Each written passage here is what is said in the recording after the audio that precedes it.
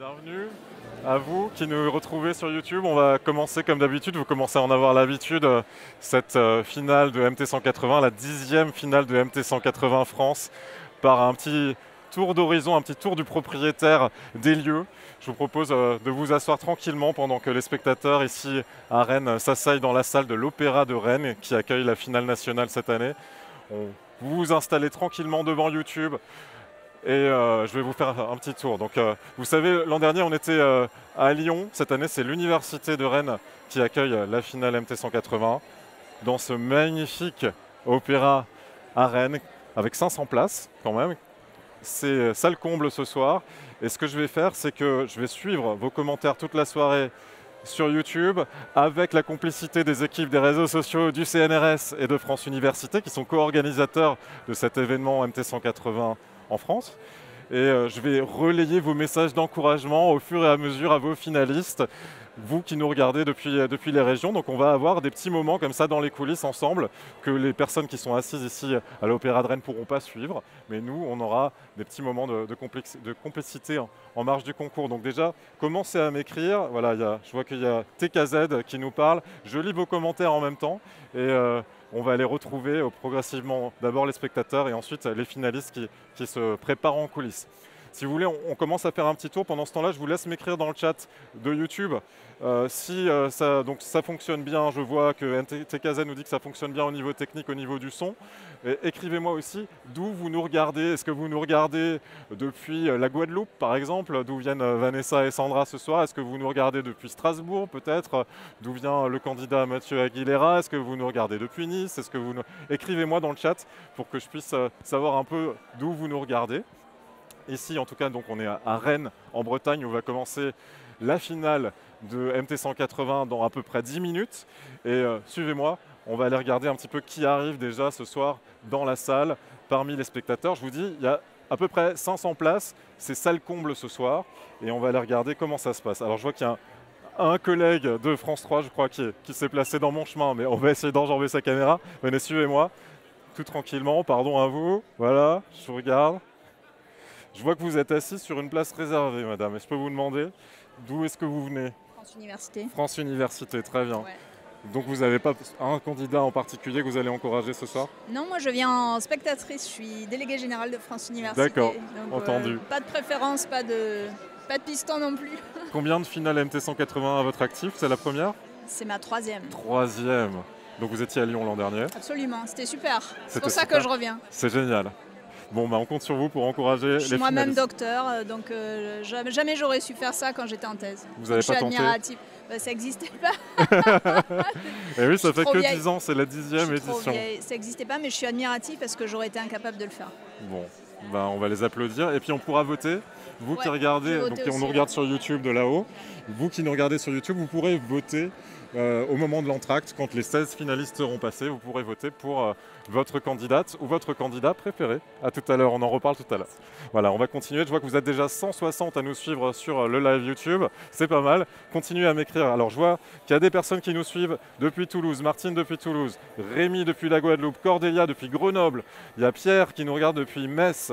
Qu'est-ce qu'il y a encore? Euh, Cordélia, Mireille. Mireille depuis la Belgique, c'est génial depuis la Belgique. Euh, est-ce que Mireille, est-ce que vous avez un, candidat en particulier que, vous soutenez? Il y a Gilberte depuis, euh, depuis la cité scolaire, le scolaire de la Persévérance. Où est-ce que c'est la cité scolaire Persévérance?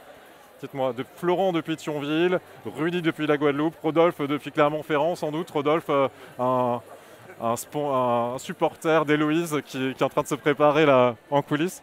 Est-ce que je peux vous demander bonjour? On est en direct déjà sur YouTube pour, pour s'échauffer un petit peu avant la finale nationale. Vous êtes rennais tous les deux? Euh, pas du tout, pas du tout. Là, on vient de Paris aujourd'hui. Euh... Pour encourager une finaliste ou un finaliste Alors, en particulier Non, pas du tout. On, en fait, on a travaillé sur l'identité visuelle et le motion design euh, ah, de mais l'événement. Oui, tout à fait. On ne s'est pas encore vu, mais on voilà. se parlera tout à l'heure pendant l'entracte. Donc, il y a un moment où, oui, on va. On bon, j'ai spoilé, j'ai spoilé le truc dont on vous parlera pendant l'entracte du concours de la finale, voilà. parce qu'effectivement, MT180, qui fête ses 10 ans cette année, a changé d'identité visuelle. Et voilà les deux concepteurs qu'on va retrouver tout à l'heure. On vous en parlera à tout à l'heure. Et bonne finale d'ici Je vais essayer de passer par là. On va aller voir. Ah Maxime, ça va Ça va Donc Maxime, il était finaliste l'an dernier à Lyon. Oui, absolument. Et tu es rennais Et je suis, je suis pas rennais, mais je fais ma thèse à Rennes. D'accord. Voilà. Donc tu es à domicile cette année, Exactement. avec la particularité que tu ne seras pas sur scène, mais tu seras dans le public. Exactement, et c'est beaucoup mieux. Ouais, c'est beaucoup mieux. beaucoup mieux. On en reparlera tout à l'heure Ouais, aussi, je viendrai te voir, d'accord Absolument. À tout à l'heure et bonne finale. Alors on va passer par ici. Alors les rangs des officiels sont encore relativement vides, mais je vois qu'il y a- peut-être des collègues. euh, vous êtes de la presse, vous êtes journaliste ou euh, je peux vous poser. On est en direct sur YouTube pour, euh, pour s'échauffer un petit peu avant la finale nationale. Et vous êtes venu suivre la finale. vous êtes de journaliste à, Rennes, c'est ça? Oui, c'est ça. Mais je suis journaliste. je suis journaliste indépendant. Je travaille pour plusieurs médias. Et c'est la première finale MT180 Non, j'étais déjà venu à Paris il y a 5 ans, euh, je crois. Je- C'est chouette comme concours, non? Oui, oui. Mais Ouais. après, moi, je. Moi, j'ai un master de chimie. euh, Je, je connaissais avant euh, même d'être journaliste. D'accord. Et- Voilà. Et, vous, et vous aviez pensé à tenter si un jour vous, vous faites votre thèse euh, Euh, non, parce que j'ai un master. Du coup, je suis Ouais, jamais. mais peut-être peut-être à la suite. Bah, il faut faire une thèse. Moi, Voilà. j'ai pas fait de thèse. Ok. Bon bah bon, bonne finale en tout cas, bonne finale. Voilà, on va continuer, on va aller voir de l'autre côté. Là, je vois des gens de l'université de Rennes justement. On va leur demander. Non, non, non, non, partez pas. Vous voulez pas Marine, Marine Lopez. Toi, ça fait combien de, finales euh, MT180 Tu les as toutes faites, toutes les 10 Donc euh, Marine de France Université, qui, euh, qui est toujours derrière l'organisation de MT180 chaque année. Euh, donc euh, moi, ça fait euh, 10 éditions maintenant que je suis le concours. Au départ, j'étais stagiaire et maintenant, euh, j'organise pour France Université le concours matin 180 secondes. Donc depuis le début, ça commence à, à faire. hein. Ouais, c'est émouvant quand même de fêter euh, la dixième édition. C'est super chouette, surtout dans un lieu comme, euh, comme l'Opéra de Rennes. C'est euh, la première fois qu'on fait une salle euh, avec euh, autant de, de passifs historiques, j'ai envie de dire. Et euh, c'est vraiment super. Elle est, elle est vraiment incroyable cette salle. Donc ça, c'est cool. C'est la première fois que c'est dans, dans un lieu de musique? Dans un opéra, oui. D'habitude, on fait des théâtres, on a fait des centres des congrès. Mais euh, théâtre, je, je peux me tromper, hein, ma, mémoire n'est pas infaillible, mais, euh, Ouais. mais dans un opéra, ça c'est sûr, c'est la première fois. Qu'est-ce que ça fait de, de suivre chaque année euh, ces 16 finalistes? Je crois que c'est à peu près 16 chaque année, entre 20 et 15, euh, grosso modo. Qu'est-ce que ça fait de les suivre? Et puis là d'arriver à la soirée qui va départager, enfin où il n'en restera finalement plus qu'une ou plus qu'un à la fin? Nous, on a le bon rôle en tant qu'organisateur parce que c'est que du bonheur. En fait, on, les connaît, on les encourage. C'est pas nous qui avons le choix difficile euh, de choisir qui va gagner. Donc euh, pour nous, c'est toujours super parce que la demi-finale avait lieu en avril et là, on a eu euh, deux mois avant la, finale nationale. Donc c'est juste un super moment où on se retrouve tous, on retrouve les candidats dans une super ambiance et donc c'est toujours un plaisir de les retrouver à ce moment-là. Alors toi, toi qui les connais vraiment très bien, je vais te dire un petit peu euh, qui nous suit là. Donc euh, je, vais, lire un petit peu vos commentaires euh, dans le stream. Alban nous suit bah, depuis Rennes, mais sur YouTube aussi. hein. Il n'y a, que 500 places dans l'opéra, donc il fallait bien trouver des places pour les... C'est à ça que ça sert aussi d'être sur YouTube. Il y a, voilà, il y a, il y a Caroline Héron qui nous écrit en créole Foss Sandra. Donc euh, une des deux candidates guadeloupéennes, parce qu'il y en a deux cette année en, finale. Chapeau la Guadeloupe. Lénaël qui nous dit Allez Vanessa, donc la deuxième euh, candidate guadeloupéenne. Romuald, Go Princesse. Valérie qui nous dit La Savoie pour Strasbourg. Donc pour, Strasbourg, euh, ça va être Mathieu, hein, c'est ça, j'imagine? Regarde, il y a- il y a James qui nous regarde depuis l'Égypte. Ah, j'ai un petit. Voilà. Vanessa, il y a beaucoup de Vanessa. On fait le tour de France On fait le tour de France, hein, ouais. métropolitaine. Et Outre-mer. Et Outre-mer, c'est génial. Continuez. Je vais aller euh, porter vos messages euh, dans quelques minutes euh, aux, aux finalistes qui sont en train d'être équipés de micros, en train de faire les dernières retouches de maquillage dans les coulisses. C'est- chouette quand même de tous les voir. Là, il y a la réunion aussi, tiens, pour Tatiana. Et là, il y a plus de 200 personnes en ligne, donc c'est vraiment euh, c'est super. Enfin, en, Et- en plus, pour rappel, la finale, les 500 places, on les a faites complètes en trois jours. Donc c'est la preuve de, de l'engouement du, du public euh, pour cet événement. En donc, trois euh, jours. Trois jours, C'est 550 génial. places. ouais. C'est génial. C'est Et alors là, en direct, vous êtes déjà 230, je vois, à suivre le, le stream en direct. Ça commence dans, je pense, la, la sonnerie nous a indiqué que ça commençait dans 5-10 minutes. Dans 5-10 minutes, 5-10 ouais. minutes. Mais restez euh, dans, dans, dans quelques, euh, dans quelques minutes, ça va commencer, je pense plutôt dans 5 minutes a priori. Ouais. Euh, donc on va aller voir les candidats. En, les candidates en, en coulisses aussi. Ouais. Je vais essayer de me frayer un petit chemin quand même pour passer. Alors, y a- vous continuez à nous écrire. Nad- Nadine depuis la Guadeloupe, Asma qui dit Allez Guillaume, Anne qui nous dit plein de pensées pour Jeanne. Il y a Bassem Afiouni qui nous dit Allez Guillaume le Seigneur. Euh, Dana qui nous dit Allez Tati. Laura qui dit Let's go Goran. Goran qui est derrière. J'ai vu qu'il y avait aussi euh, des supporters pour Héloïse depuis euh, Clermont-Ferrand. Vincent depuis la Guadeloupe aussi. Vous êtes très nombreux à nous regarder depuis la Guadeloupe. C'est génial. Il y a un super fan club pour Sandra et pour Vanessa. Continuez. Il y a Camille aussi. Il y a Adrien. Il y a Tatiana, Mathieu, Robin. Adrien et Émilie, voilà. Continuez, je vais aller leur montrer tout de suite les messages.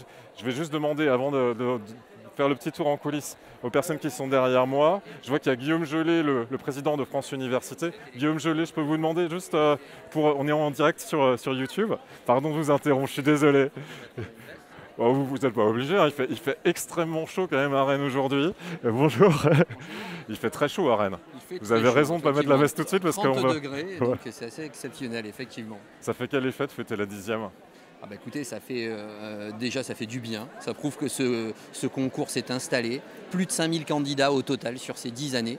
Donc je crois que c'est important. Ils étaient 600 cette année. 52 je crois euh, en demi-finale, euh, 16 euh, donc pour cette finale. Le gagnant nous représentera, représentera la France. Il représentera son université, il représentera son laboratoire de recherche, mais aussi la France à la finale internationale à Rabat. Donc c'est super. On espère surtout, surtout que, que tous ces candidats qui sont brillants donc euh, passent aussi une excellente soirée. Et on va dire, voilà, je suis sûr qu'ils en tireront euh, réellement des bénéfices pour leur thèse. Donc voilà, c'est aussi ça ma thèse en 180 secondes. C'est prendre de l'assurance, c'est se poser des questions avec un petit peu de recul et un angle différent du travail au quotidien. Et donc je crois que c'est bénéfique pour eux et c'est surtout bénéfique pour la société puisque nous avons besoin d'expliquer simplement voilà, également ce que font nos doctorants, ce qu'est la recherche. Et cet exercice est là pour ça. Et on s'en inspire aussi, Ouais. nous, également. C'est voilà. génial. Et je peux vous dire que tous les- toutes les universités de France Université sont euh, représentées déjà parmi les 300 personnes qui suivent déjà le stream sur YouTube. Ils Ah, écrivent de, de partout et de Reims aussi. Ah ben c'est Voilà. super, Bah, écoutez, donc c'est super. Donc Bonne bonne, soirée, soirée, en tout cas, à tout le monde sur YouTube, comme ici à l'Opéra de Rennes. Super. Et bonne finale euh, et on se retrouve tout à l'heure. On se retrouve tout à l'heure. Alors c'est le moment, on va aller faire un petit tour du côté des coulisses. Je vous l'ai promis, on y va, c'est parti. On va aller voir. Alors on va passer devant, euh, devant l'orchestre, l'orchestre, l'Exode, un orchestre rennais qui va nous accompagner toute la soirée pour faire honneur. On va peut-être juste pas noter vers eux pour les voir, si c'est possible. Vous êtes prêts? Je suis prêt. Ok, super. On vous laisse tranquille. J'ai promis au live YouTube de vous emmener voir les finalistes. Alors, on va se frayer un petit chemin vers les coulisses. On passe derrière le rideau noir. Il y a Émilie que je retrouve tout de suite, ma co-présentatrice de, de la finale. Ouais, là, par ici, voilà. Ils sont pas là, les finalistes? Ils sont pas prêts? Non, non, non. Ils sont tous, ils sont tous euh, flippés. Salut Alfani Bon, je retrouve Alfani ici qui était finaliste l'an dernier et puis gagnante l'an dernier. Oui, ça te oui. fait quel effet d'être de retour pour la dixième, euh, le dixième anniversaire? Je suis vraiment ravie d'être là, c'est Ouais. vraiment un honneur pour moi. Euh, et du coup, je suis encore plus contente d'avoir gagné l'année dernière. Ça me rappelle vraiment de bons souvenirs. et, t'es- et donc, euh, comment tu vas te sentir ce soir quand tu vas regarder ça Tu es dans le jury ce soir, Oui, oui. donc ça va être un autre enjeu pour toi. Oui. Quels sont, euh, tu peux peut-être me donner tes critères ou ça ne le fait pas de le dire juste avant que, que les candidates et les candidats passent Bah, on va de- espérer qu'ils m'écoutent pas. Ou... Ouais, pourquoi ils t'écoutent pas Parce que c'est un, enfin, c'est un peu tard pour tout changer. Alors, Ouais, euh, ouais, s'ils. Non, rentrent pas dans ils les pas, je clous. crois qu'ils sont pas là, ils sont pas encore là, c'est bon. Euh, moi, j'attends de, de pouvoir me résumer en deux, trois points clés euh, ce qu'ils font dans leur thèse, euh, vraiment quel est leur travail et du coup quel est leur rôle. Et puis, euh, et puis j'ai envie de les voir euh, heureux d'être là sur scène et avec l'envie vraiment de, de donner au public et de donner toute leur énergie. Ouais, je pense que Mais comme on les a vus aujourd'hui, euh, je pense qu'ils vont en prendre beaucoup de plaisir. Alors eux t'ont pas écouté, mais je peux te dire qu'il y a déjà 300 personnes qui nous écoutent sur le live YouTube. Donc c'est vachement suivi de toute la France. Et euh, t'ha- t'ha- t'habites où maintenant? Enfin tu nous le diras tout à l'heure, on prendra le temps d'en parler tout à l'heure. Bonne, bon début de finale. On regarde un peu de suspense et on va regarder ici. Alors je vous, je vous explique parce que vous, vous suivez sans doute vos amis, vos familles. C'est ici que Julien va équiper chacun des candidats et chacune des candidates au fur et à mesure, juste avant leur passage sur scène, euh, en micro. Ils auront un micro comme celui que je porte là, euh, casque. C'est quelque chose de, de nouveau pour certains d'entre eux. Bah voilà, ça y est, il y en a certains qui sont là. Il y a Adrien, il y a Sandra, il y a Mathieu. Tout le monde est là? Vous êtes tous là Euh, Les 16, ouais, on vient de nous appeler. Voilà. On est sorti de notre grotte et. Alors, il y, a- il y a vos fan clubs qui sont là en ligne, il y a déjà 300 personnes, je ne vais pas vous mettre la pression du tout. Ouais, j'ai vu un copain. euh, dans- Ouais, dans tu l'as vu chat. déjà T'as Ouais, déjà ouais. regardé dans le chat Ouais, ouais, j'ai vu, il y a le frère de ma copine qui nous parle depuis Svalbard, il est à l'autre bout du monde, Guy Ah, c'est génial, Merci j'ai d'être même là, pas- raté son commentaire. Zut. Regarde Alessandra. Sandra, elle est à Thionville. Euh, Sa- Sandra, t'as des, des- un Christophe depuis Thionville. Oui. Tu le connais C'est mon ami. Ah, c'est ton ami Voilà. D'accord, ok, pardon, je a voulais pas du tout raconter. Il y a tout le monde là. j'ai tout vu. Ah ouais, il y a beaucoup, il y a eu des messages en créole aussi, Foss, Sandra et tout ça, c'est génial. Ça fait du bien quand même d'entendre ça. oui. Bah oui. Tiens, peut-être si vous avez euh, des cris euh, de ralliement pour euh, vos candidats ou vos candidates favoris, mettez-les nous aussi dans, dans les commentaires, ça va être le moment là parce qu'on va pas tarder à commencer. Ça va Mathieu? Ça va toujours? Toujours? Ouais, ouais, ouais. Ouais. Est-ce que vous vous rapprochez un tout petit peu pour qu'on vous voit là? Rapprochez-vous un petit peu de moi. On va se rapprocher. Approchez-vous encore un petit peu. Parce que j'aimerais bien tenter un truc avec vous. Voilà, on va tenter un truc. C'est la, c'est la dixième édition, mais il faudrait quand même qu'on ait une première ce soir. On va faire un petit compte à rebours pour lancer euh, officiellement la soirée. Ça vous va? Le compte à rebours, vous êtes tous là, rapprochez-vous un petit peu. Il y a vos familles, il y a vos amis là qui sont euh, sur le live euh, YouTube. Approchez-vous là. Goran, Naimo, Guillaume qui est tout derrière. Rapproche-toi un petit peu. Allez, vous êtes prêts? Allez, 10, 9, 8, 7, 6, 5, 4, 3, 2, 1, c'est parti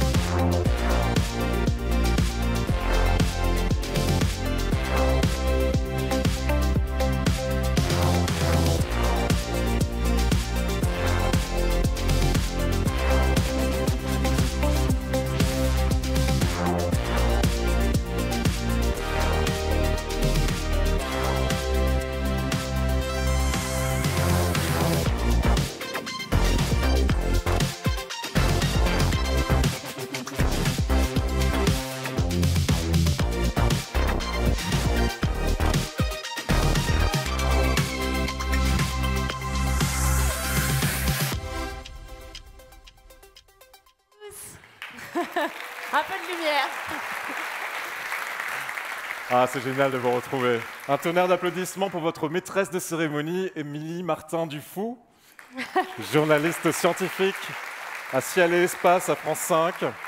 Et un tonnerre d'applaudissements, s'il vous plaît, pour Pierre Girard, l'adorable et le brillant Pierre Girard, Oh, journaliste pour Arte et vidéaste YouTube.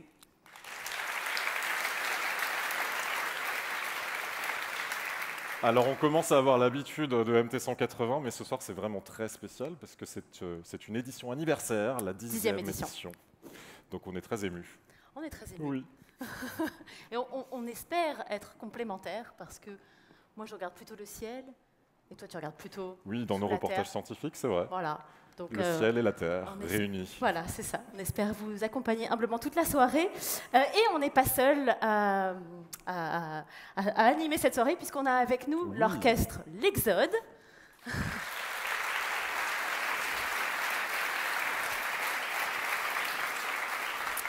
Alors, l'Exode, c'est un orchestre composé de jeunes musiciennes et musiciens issus des écoles musicales de Rennes. Pierre Le Talec, vous êtes le chef d'orchestre. Comment ça va?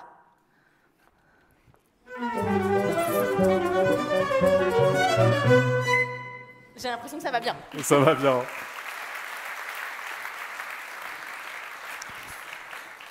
Alors, ma thèse en 180 secondes, c'est un événement très important pour la vulgarisation scientifique, un événement à concours international, co-organisé par le CNRS et France Université.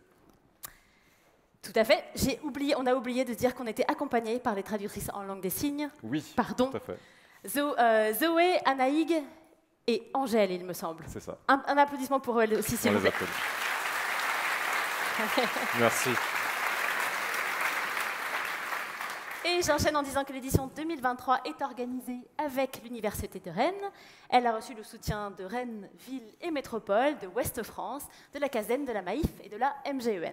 Et alors, vous qui nous regardez sur mt180.fr et YouTube, n'hésitez pas à utiliser le hashtag MT180 pour interagir avec nous, pour interagir avec Pierre qui va Voilà. surveiller les réseaux sociaux toute la Et soirée. vous qui nous regardez de très loin ou de très près, vous pouvez aussi poster vos stories, vos photos sur Instagram en taguant surtout le tout nouveau compte MT180 underscore France qui vient d'être créé. Et on a les équipes des réseaux sociaux de France Université, du CNRS qui vont suivre tout ça pendant toute la soirée.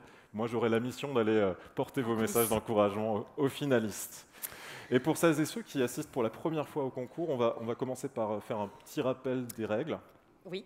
Chaque doctorante et doctorant finaliste a pour mission ce soir de présenter ses recherches avec des termes clairs et concis, accessibles à toutes et tous, vulgarisés donc en 3 minutes, 180 secondes et pas une, seconde de, de plus. plus. Il y a deux mois, presque jour pour jour, s'est déroulée la, la La demi-finale. demi-finale. Euh, 54 euh, lauréats issus des finales euh, nationales organisées un peu partout en France se sont affrontés à Paris. Ils ont été tous incroyables et pourtant seuls 16 d'entre eux ont été sélectionnés. Donc vous vous apprêtez à entendre les performances de la crème de la crème de MT180 2023. ah oui, et je dis aussi que euh, la finale décernera plusieurs prix.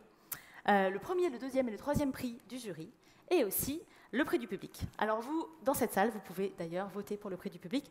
Tu nous diras plus tard un peu comment. Ça se passera pendant l'entracte, une fois que tous les candidats, que les 16 finalistes seront passés. Et puis surtout, il faut signaler que la lauréate ou le lauréat du premier prix du jury aura la très grande responsabilité de représenter la France en finale internationale de MT 180. Et ça se passera le 5 octobre au Maroc, à Rabat. Et on peut vous dire, euh, Émilie et moi, parce qu'on a suivi euh, toutes les candidates et tous les candidats depuis un petit moment, Oui. qu'ils en rêvent tous de cette place en finale internationale. Alors, on va bientôt commencer, mais avant de commencer, euh, une invitée de marque euh, n'a malheureusement pas pu nous rejoindre ce soir, mais elle a souhaité quand même dire quelques mots d'encouragement aux 16 finalistes. Cette euh, invitée de marque, c'est bien sûr Sylvie Retailleau, ministre de l'Enseignement supérieur et de la Recherche. Je vous propose de l'écouter tout de suite. Chers toutes et tous, je souhaitais vous adresser quelques mots en ouverture de ce bel événement qui est la finale nationale du concours Ma thèse en 180 secondes, organisé par France Université et le CNRS. Et je suis vraiment navrée de ne pouvoir être physiquement présente avec vous dans cette belle ville de Rennes. Vous êtes réunis ce soir pour la dixième édition nationale de cet événement, événement qui rayonne à travers le monde francophone. Chaque année, vous êtes nombreux, de plus en plus nombreux, doctorantes et doctorants, à relever ce défi d'exprimer clairement et pédagogiquement le sujet de recherche de votre thèse, et ceci en 180 secondes. Un beau défi. Un défi car cela exige beaucoup de qualité et aussi un peu d'audace. Vous avez en commun le goût de la vulgarisation scientifique, bien sûr. Comme vous le savez, c'est un sujet très important à mes yeux et les vidéos des candidats restent bien au-delà du concours, comme autant d'illustrations enthousiastes et passionnées des nombreuses disciplines scientifiques. Vous avez également un talent oratoire. Avec le recul que vous prenez sur votre sujet de recherche, vous parvenez à exposer clairement les enjeux de votre sujet de thèse. Il s'agit là d'une qualité essentielle, mais aussi pour la suite de votre vie professionnelle. C'est un exercice difficile et je suis très admirative du talent avec lequel les doctorantes et les doctorants relèvent ce défi chaque année. Je sais ce que représente la contrainte temporelle d'une réponse courte, moi qui dois aussi répondre en 120 secondes aux questions posées aux membres du gouvernement, à l'Assemblée nationale et au Sénat. Aujourd'hui, vous êtes ainsi 16 finalistes, 9 femmes et 7 hommes. Je me réjouis de voir que les jeunes femmes aussi se mobilisent autant pour ce défi. Je suis certaine que cela contribuera à inspirer de plus en plus les jeunes filles, mais aussi à les encourager à faire des sciences. Vous êtes issus de l'ensemble du territoire national, de métropole et d'outre-mer, et portez des disciplines très variées, montrant la diversité et la richesse de la recherche française. Je vous souhaite 16 fois 180 secondes de belles expressions scientifiques à destination du plus grand nombre. Vous serez toutes et tous brillants et convaincants, j'en suis certaine. Et l'avantage de passer au début est de pouvoir vous féliciter toutes et tous. Très belle finale à vous.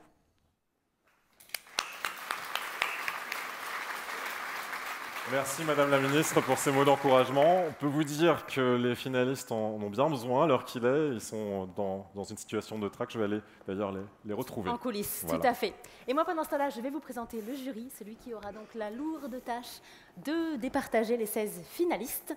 Alors ils représentent chacun une facette du concours, que ce soit euh, l'écriture, la vulgarisation, la performance scénique, la recherche, évidemment.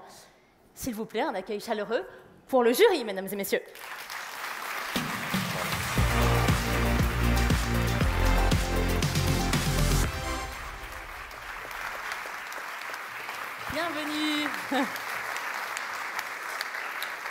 Bonsoir à tous.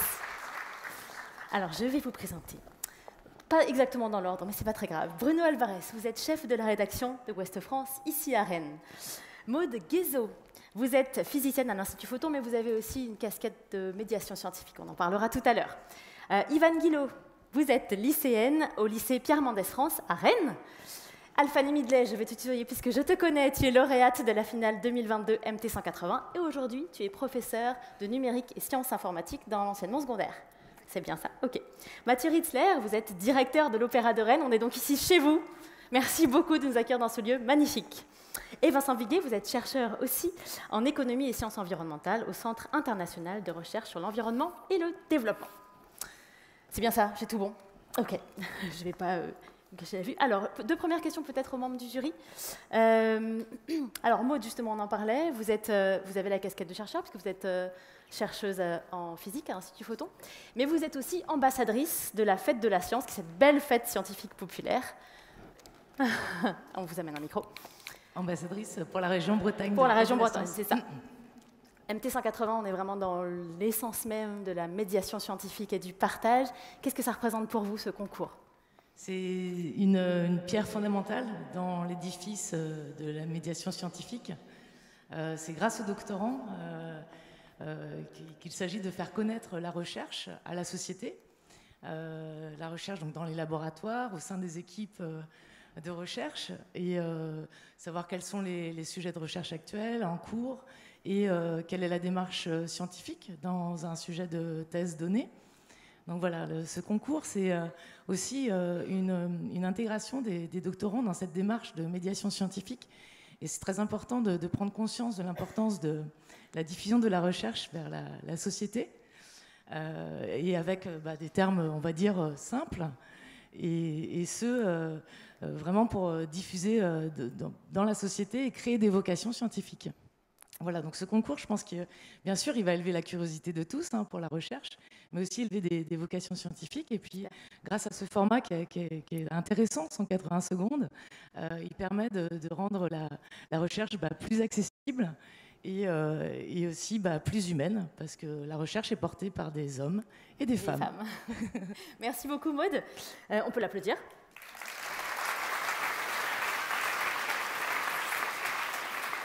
Vincent Viguier, peut-être passer le micro à Vincent Viguier, vous êtes aussi chercheur. Euh, on parlait tout à l'heure de l'exercice difficile de, 180 secondes pour, euh, pour divulguer une recherche. Qu'est-ce que vous en pensez? Est-ce que c'est un exercice que vous auriez pu faire pendant votre thèse? Alors oui, oui quand j'étais en thèse, c'était juste avant la, création, mais sinon j'aurais fait avec, euh, avec joie. Et je connais beaucoup, beaucoup de monde qui ont participé. effectivement, c'est un, un, très, très bon exercice. Et euh, je pense que c'est intéressant pour le, public et pour les doctorants et pour le monde de la recherche, c'est vraiment un exercice qui est, qui est super parce que ça permet de, euh, euh, de diffuser des connaissances, ça permet de se former à des choses très utiles après quand on est chercheur et du coup voilà, c'est vraiment un, concours que je trouve euh, vraiment génial. Vous étiez du coup l'année d'avant le concours, c'est dommage. En deux phrases, donnez-nous l'essence de votre recherche. Alors, moi, moi, je travaille sur les, les, les, conséquences du changement climatique sur, sur la société. Parfait, magnifique. Merci beaucoup à vous tous. Je vous laisse reprendre vos places. On échangera avec vous euh, tous euh, au cours de la soirée. Je pense que vous êtes attendus en salle, il me semble.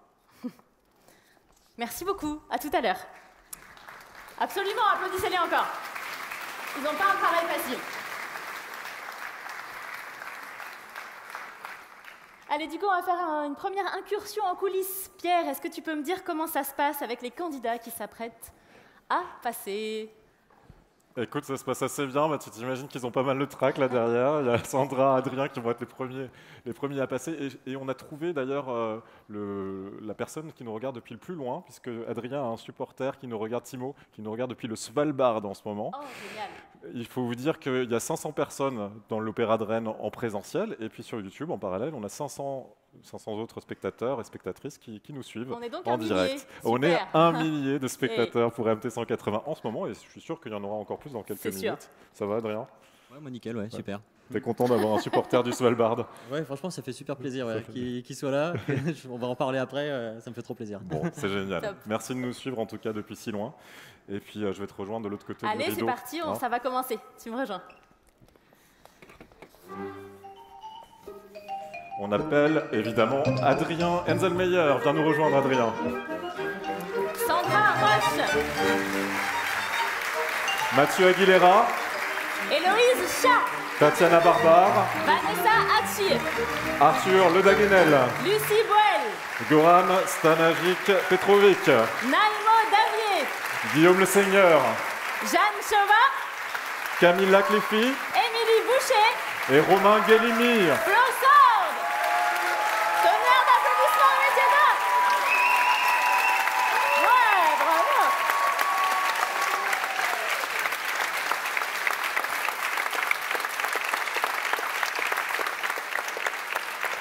sur scène, tous les 16, les 16 finalistes sur scène. Ça fait du bien là avec le public Et ils sont chauds ce soir le public, franchement, c'est bien, bravo. Nombreux. Et puis avant de se lancer, avant que vous vous lanciez, on va quand même de nouveau rappeler les règles. Vous allez présenter vos sujets de recherche, on l'a déjà dit, avec des termes simples, en trois minutes, un exposé clair, concis, et surtout ce qui est important, on ne l'a pas dit avant, avec le support d'une seule diapositive une seule diapositive et 180 secondes, pas une de plus. Un gong marquera la fin de votre exposé. Vous ne pourrez pas aller au-delà. Euh, je vous conseille, pour ceux qui vont voter euh, pour le prix du jury, de prendre des notes, parce que vous allez voir, ils vont tous être excellents, et vous allez avoir du mal à les départager. Donc prenez des notes sur qui a dit quoi. Ça va vous euh, donner un petit pense-bête pour pouvoir voter en toute connaissance de cause. Pour le jury, mais évidemment pour le public aussi, dans la salle et puis en ligne, puisque donc on va attendre les 16 passages pour lancer le vote officiel du public. Il y aura un prix du public. On vous expliquera comment voter. Vous pourrez le faire tout à l'heure avec votre smartphone depuis la salle ou depuis YouTube. et en, voilà. Et en fait, c'était tellement bien, on les a gardés sur scène, mais on était censé les renvoyer pour appeler le premier. Donc, repartez tous. C'est parti. On avait envie de vous garder un peu avec nous sur scène. Allez vous mettre en position. Voilà, évidemment, Mathieu, Sandra et Adrien vous restez à proximité. Bravo, continuez comme ça. Ils ont besoin d'encouragement. Vous êtes au top. Génial. Eh du ben, coup, dès qu'ils sont que- en place, attends, je leur laisse quand même 2-3 Ouais, c'est secondes pour se remettre en place. Adrien, tu me fais un petit sticker, c'est bon? Ça va? C'est bon pour toi? T'es en place? Allez, on appelle parti. le premier candidat, Adrien Enzelmeyer. Viens nous rejoindre.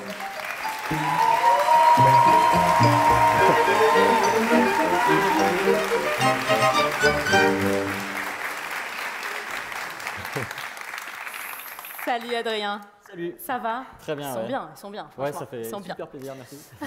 Alors, euh, tu es de l'Université de Lorraine, laboratoire études des microstructures et mécanique des matériaux. C'est ça. Ton sujet, vous allez voir, ça commence fort. Absorption, désorption de l'hydrogène dans les phases max, les maxènes et leurs nanocomposites à base de magnésium. Ouais. Mais Ok. c'est pas compliqué à comprendre, vous allez voir. Super, et ben tu vas nous montrer ça. N'oublie pas, tu donnes le top. À toi de jouer.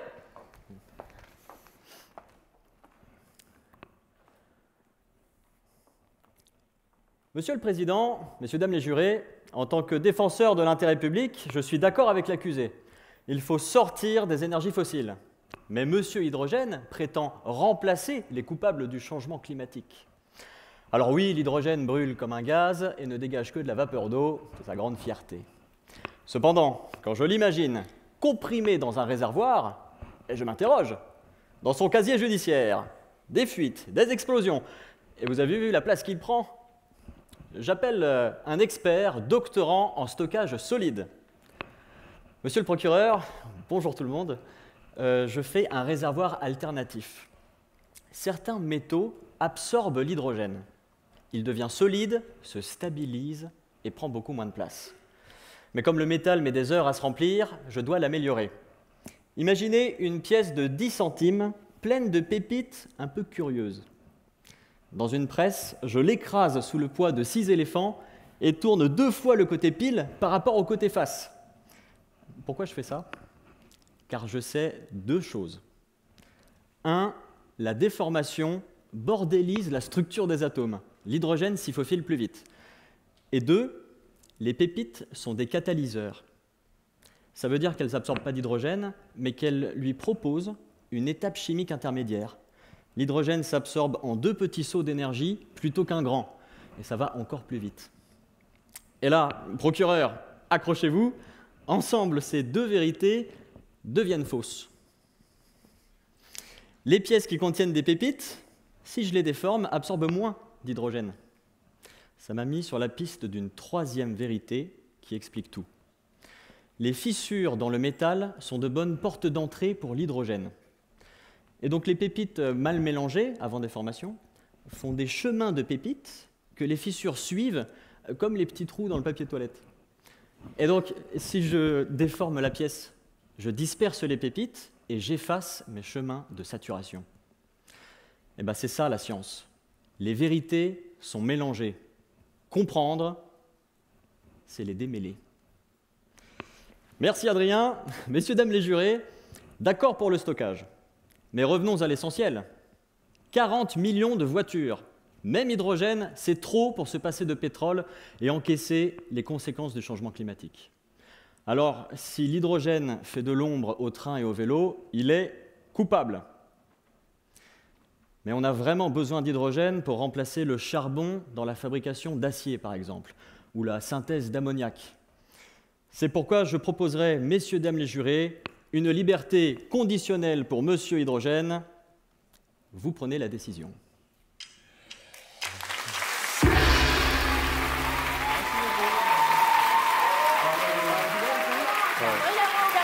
On l'applaudit.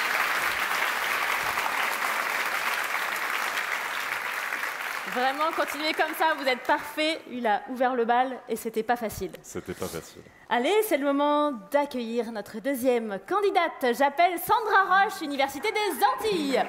Viens nous rejoindre.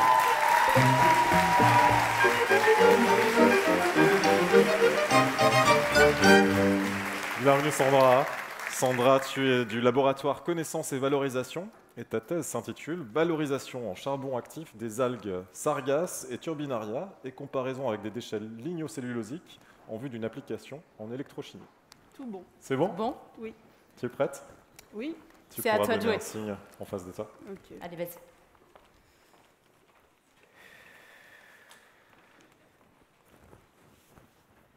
Petit papillon de l'arc la Guadeloupe est une île paradisiaque avec plus de 270 plages, dont certaines font l'objet de cartes postales.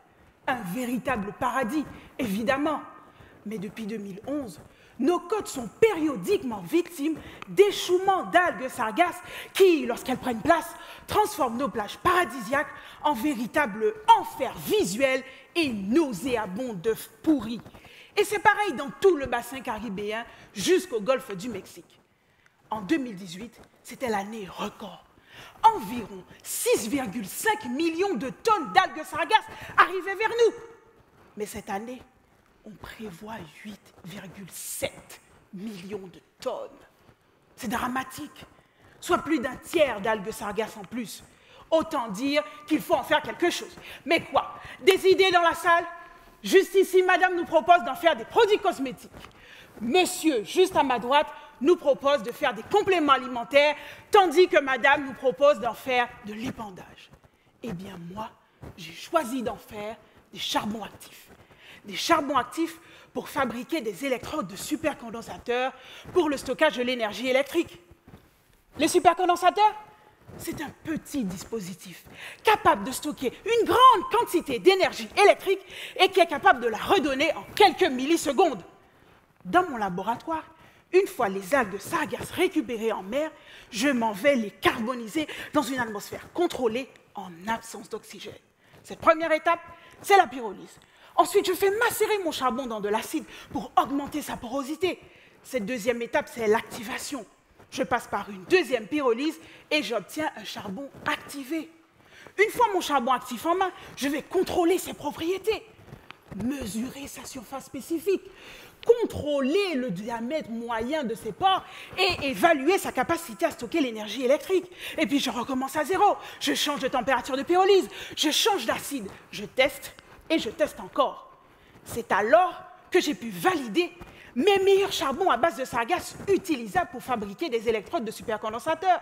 Supercondensateurs qui serviront peut-être un jour à assurer les portes d'ouverture des avions, ou encore qui seront utilisables dans les véhicules électriques ou les véhicules hybrides en récupérant l'énergie de freinage pour rebooster le véhicule au moment de l'accélération. Mais ce n'est pas tout. Mes charbons de sargasse sont aussi utilisables pour dépolluer les eaux polluées aux pesticides comme le chlordécone. Vous imaginez ces algues sargasses qui sont un véritable enfer sur nos côtes, côtoyant le paradis céleste dans les supercondensateurs aériens Quelle merveille Paradisiaque Au point d'attirer les touristes du monde entier.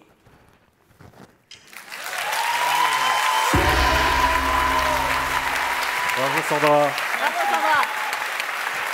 Super. Merci beaucoup. C'est peut-être votre... Ah.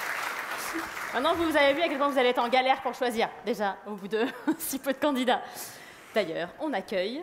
On accueille notre troisième candidat, Mathieu Aguilera, de l'Université de Strasbourg.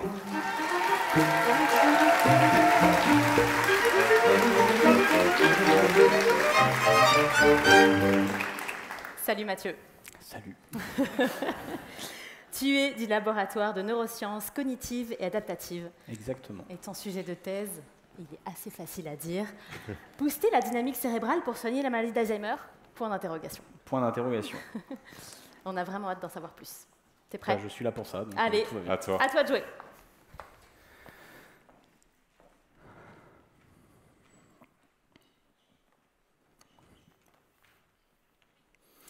La peur d'être oublié, de ne pas être reconnu par quelqu'un qui vous est cher.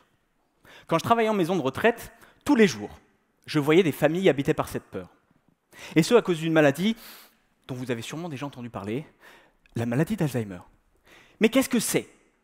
C'est une maladie neurodégénérative. Les neurones du cerveau vont petit à petit mourir, causant d'abord des pertes de mémoire et amenant progressivement vers un stade de démence. Mais on n'a toujours pas de traitement pour cette maladie, car elle est diagnostiquée quand les dégâts sont déjà trop avancés. Ma thèse a donc deux objectifs. Trouver des marqueurs précoces de la maladie, donc avant l'apparition des symptômes majeurs, pour faciliter le diagnostic, et tester l'efficacité d'un traitement lors de ces stades précoces. Pour cela, je travaille avec des souris qui vont développer la maladie d'Alzheimer.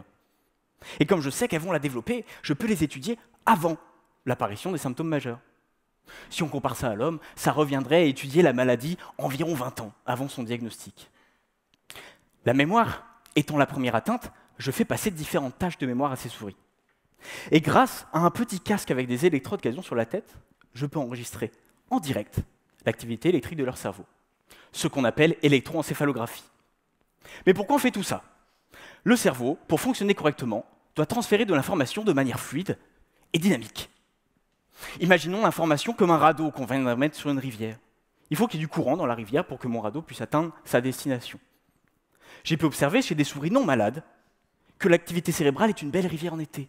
Il y a du courant, l'eau coule normalement, et mon radeau peut facilement atteindre sa destination. J'ai donc fait l'hypothèse que l'état de la rivière ou les fluctuations du cerveau de mes souris Alzheimer seraient altérées. Et en effet, quand on regarde leur activité cérébrale, on est plus proche du Saint-Laurent en hiver que du Rhin en été. Des portions de la rivière sont gelées, l'eau se fige, et mon radeau, il a du mal à atteindre sa destination. Ce qui se traduit par des premiers troubles de mémoire. Ainsi, cette gelée de la rivière ou cette perte de dynamique cérébrale serait un signe annonciateur. Un peu le Winter is coming de la maladie des années en avance. Mais si on arrive à faire fondre la glace, est-ce que ma rivière coule de nouveau normalement et est-ce que mes souris retrouvent des performances de mémoire? Pour tester cela, j'ai fait quelque chose de très simple. J'ai mis les souris dans une pièce sombre avec de la lumière stroboscopique. Alors ce n'est pas une excuse pour aller en boîte de nuit, hein, car ça avait 40 flashs par seconde et sans consommation d'alcool, soit dit en passant. Et après 15 jours d'une heure quotidienne de stimulation, mes souris, retrouvent la mémoire. Et quand je regarde leur activité cérébrale, elle est redevenue normale. La glace a fondu, la rivière coule de nouveau normalement et mon radeau, ben, il peut atteindre sa destination. Pour conclure, on aurait donc un potentiel indice des, des stades précoces de la maladie et un traitement, tous les deux facilement applicables à l'homme. En espérant qu'un jour, cela puisse nous permettre d'oublier la peur de l'oubli.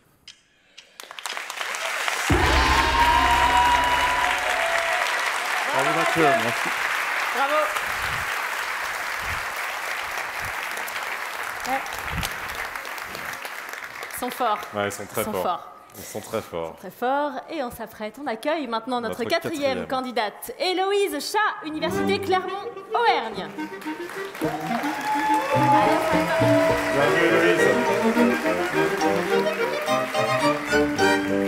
Ça va bien?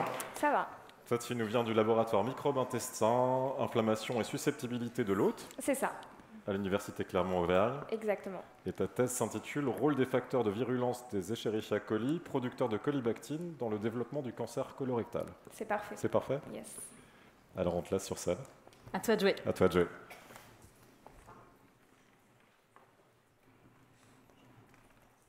Vous savez, c'est marrant, comme c'est toujours au cours d'un repas que l'on me demande quel est mon sujet de thèse. Eh bien, mesdames et messieurs, je travaille sur le caca. Voilà, tout le monde arrête de manger. Alors, je poursuis. Le caca, ou les fesses, comme on aime aussi l'appeler dans le langage scientifique, c'est mon outil de travail. C'est une mine au trésor, remplie de milliers de bactéries. Elles sont le reflet de votre microbiote intestinal. Un sujet bien en vogue aujourd'hui, qui fait souvent la une de la presse. Moi, si je devais titrer mon article de thèse, cela donnerait Le microbiote, focus sur des Escherichia coli, acteur du cancer colorectal. Hmm, en fait, euh, pas sûr que ça fasse bien vendre. Et pourtant, c'est le troisième cancer le plus mortel, alors que c'est un cancer qui peut facilement être traité s'il est dépisté à temps. Et oui, je vais faire la euh, prévention à ma thèse en 180 secondes. Mais vous savez pourquoi? Parce que la plupart d'entre nous n'est pas très enclin à aller se faire trifouiller le derrière pour se faire dépister. Bon, ça, je peux comprendre. Mais pourtant, nous lui devons bien ça à notre corps, de prendre soin de lui, vu tous les efforts qu'il met en place pour nous protéger. C'est un peu comme un temple, au cœur de la forêt. Enfin, plutôt de votre tube digestif, là, en bas, au niveau du côlon. Mes Escherichia coli, ce sont des petits envahisseurs. Indiana Jones, vous connaissez, non? Ceux-là, ils veulent rentrer dans le temple, vos cellules du tube digestif, pour trouver le trésor des Incas, votre ADN cellulaire. Eux, ils ont une toxine pour les aider, que l'on appelle colibactine. Bam, bam et boum, mutation dans vos cellules, elles sont débordées, n'arrivent plus à suivre le rythme pour se réparer. Et bim, voici une méchante cellule cancéreuse qui fait son apparition. Heureusement, c'est bien rare que la bataille se finisse comme cela, car par le plus beau miracle de la sélection naturelle, Nous avons hérité d'une couche de mucus protectrice à la surface de ces cellules du tube digestif. C'est un peu comme si ce temple était au cœur d'une jungle de lianes qui le rend inaccessible. Mais mes bactéries, elles n'ont pas dit leur dernier mot. Et elles ont un arsenal bien diversifié que je suis en train d'étudier pour aller à la conquête de ce temple. Elles ont une grosse enzyme, un peu comme un coupe-coupe, qui permet de traverser cette jungle de lianes. Et là, le voilà, le trésor des Incas, votre ADN cellulaire. Mais écoutez, on va se battre et on va le repousser ensemble, ces bactéries. On va faire un deal. Moi, de mon côté, je trouve une solution pour les empêcher de rentrer dans le temple. Et je compte sur vous pour aller vous faire dépister dès 50 ans. Marché conclu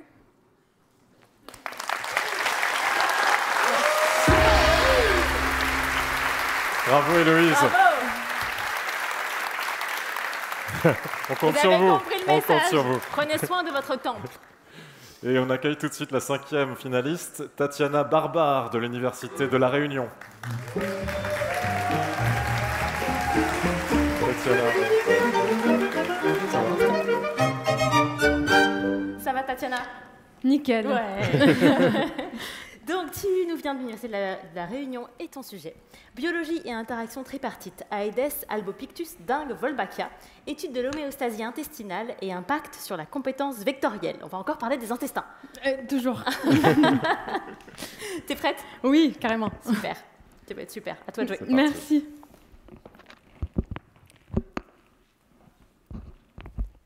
Mesdames et messieurs, ici votre capitaine.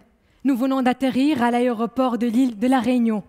Profitez bien de ces plages et paysages splendides, mais prenez aussi vos précautions. Une épidémie de virus de la dengue sévit sur l'île.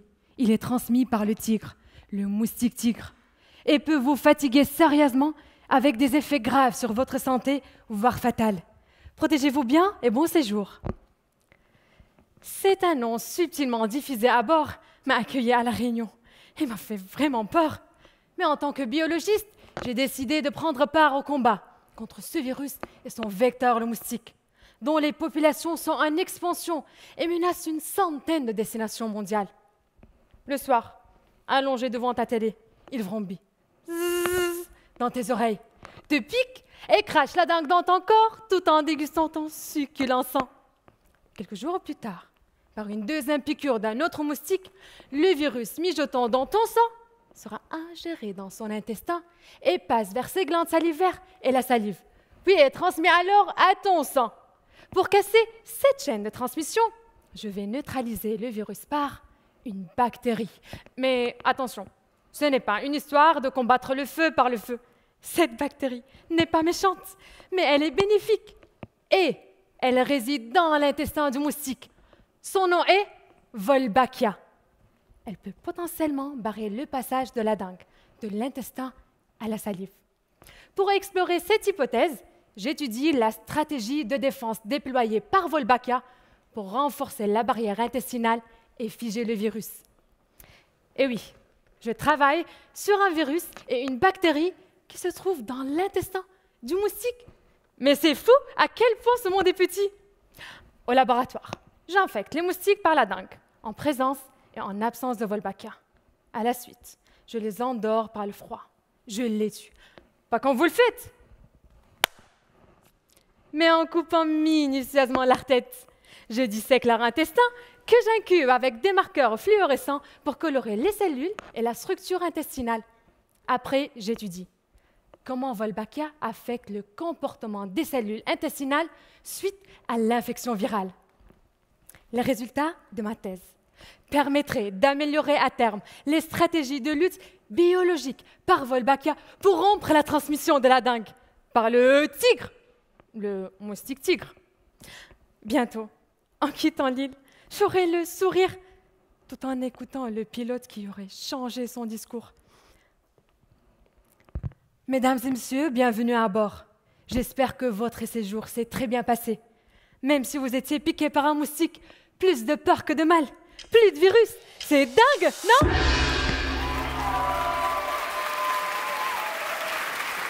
Bravo Tatiana. Bravo, Tatiana. Atterrissage sur le gong en plus. Formidable. Ah, il y a des supporters de Tatiana dans la salle. C'est dingue, oui. Je le- Il y je en a les connais. dans toute la salle. Allez, on accueille la dernière candidate de ce premier groupe de Oui. candidats, n'est-ce pas? On appelle tout de suite Vanessa Hachi, Université des Antilles. Viens Vanessa Bienvenue Vanessa. Tout va bien Ça Oui, tout va bien, oui. Alors, tu, vas, tu viens du laboratoire adaptation climat tropical, exercice et santé. Oui. J'ai bien regardé ma fiche parce qu'il est un peu long ton titre de thèse. Influence du moment de la journée sur la capacité d'imagerie motrice en climat tropical. Comparaison avec les jeunes adultes, les personnes âgées et les patients post-AVC. Oui, c'est bien ça. C'est bien ça Oui. Place-toi bien sur la croix devant toi. Et si tu es prête, on te laisse donner le signal. À toi jouer. Avoir des pensées positives est l'une des clés du succès dans de nombreux domaines. Imaginez ça, c'était un examen, une épreuve sportive, une création artistique, ou moi en ce moment même. Imaginez que je vais réussir à vous présenter ma thèse en 180 secondes. C'est ce qu'on appelle l'imagerie mentale. Depuis 4 ans maintenant, je m'intéresse à l'influence de l'imagerie motrice sur la performance sportive. C'est une technique dérivée de l'imagerie mentale. En fait, l'imagerie mentale consiste à visualiser des objets, des personnes, des situations, tandis que l'imagerie motrice consiste à visualiser des actions physiques et des mouvements. D'ailleurs, de nombreuses études ont montré que l'on obtenait de meilleures performances physiques lorsque l'on combinait pratique physique et imagerie motrice. Bien entendu, sans remettre en cause les autres techniques d'apprentissage. Mais pourquoi le simple fait d'imaginer améliorerait nos actions? C'est ce qui attisait ma curiosité. C'est ainsi que j'ai remarqué, au travers de nombreuses études réalisées par IRM, que les zones cérébrales responsables du mouvement, comme le cortex moteur primaire par exemple, étaient activées lors de l'imagerie motrice. C'est curieux, non? Alors qu'à ce moment précis, notre corps, il est immobile. Donc, l'imagerie motrice et la pratique physique stimuleraient des zones cérébrales communes. Apparemment, l'imagerie motrice permettrait de garder les informations visualisées en mémoire pour les réutiliser en situation réelle. Cependant, la performance physique n'était pas forcément ma seule motivation, car il m'est arrivé il y a deux ans ce que je n'aurais jamais pu imaginer. Mon père a été victime d'un AVC. Depuis cet événement, mon travail de thèse s'engage à apporter des recommandations appliquées quant à l'utilisation de l'imagerie motrice en rééducation. Pour la rééducation des gestes, après un AVC, l'imagerie motrice peut permettre de visualiser des actions précises comme saisir un objet, ouvrir une porte ou se lever d'une chaise. Le fait de visualiser peut aider à réactiver et à renforcer les circuits neuronaux associés aux gestes et à la précision des mouvements. Même lorsqu'ils sont perdus, de nombreuses études l'ont testé et prouvé. Le but de ma thèse est de connaître dans quelles conditions il est plus efficace d'utiliser l'imagerie motrice, notamment à quel moment de la journée. Il est important de connaître les conditions à la fois favorables, mais aussi limitantes dans la précision de l'imagerie motrice, comme la température environnementale ou ces personnes sont-elles du matin ou du soir. En précisant le moment idéal pour pratiquer l'imagerie motrice, nous pourrions avoir des résultats considérables. Imaginez ces patients hésitants, tremblants, qui, grâce à l'imagerie motrice, vont de progrès en progrès. Possiblement arriveront-ils à marcher ou à saisir un objet sans aide pour la première fois depuis l'AVC. La sensation d'avoir surmonté les difficultés, d'avoir retrouvé sa motricité d'avant traumatisme doit être intense. Est-ce que vous pouvez imaginer cette sensation? Voilà l'essence même de l'imagerie motrice. On applaudit Vanessa, bravo Vanessa. Merci. Bravo à toi, bravo aux six premiers finalistes. Oui, Et puis on peut applaudir aussi euh, les trois personnes qui, Font la la- sont interprètes en langue des signes. Merci de nous accompagner aussi. Bravo à vous. moi je me dis que le jury est vraiment en galère. Ah oui, euh, ça va vous Ça Tout va. se passe bien, vous prenez des notes bon, bon courage. Bon courage. Et c'est pas fini, ça, ça ne fait que commencer. Allez, avant de continuer, justement, une surprise à l'occasion euh, de la dixième édition. Les anciens candidats et lauréats ont Eh souhaité oui. dire un petit mot à nos candidats actuels, parce que je pense que ce sont eux qui comprennent le mieux ce que vous vivez actuellement. Si vous voulez bien, on les écoute.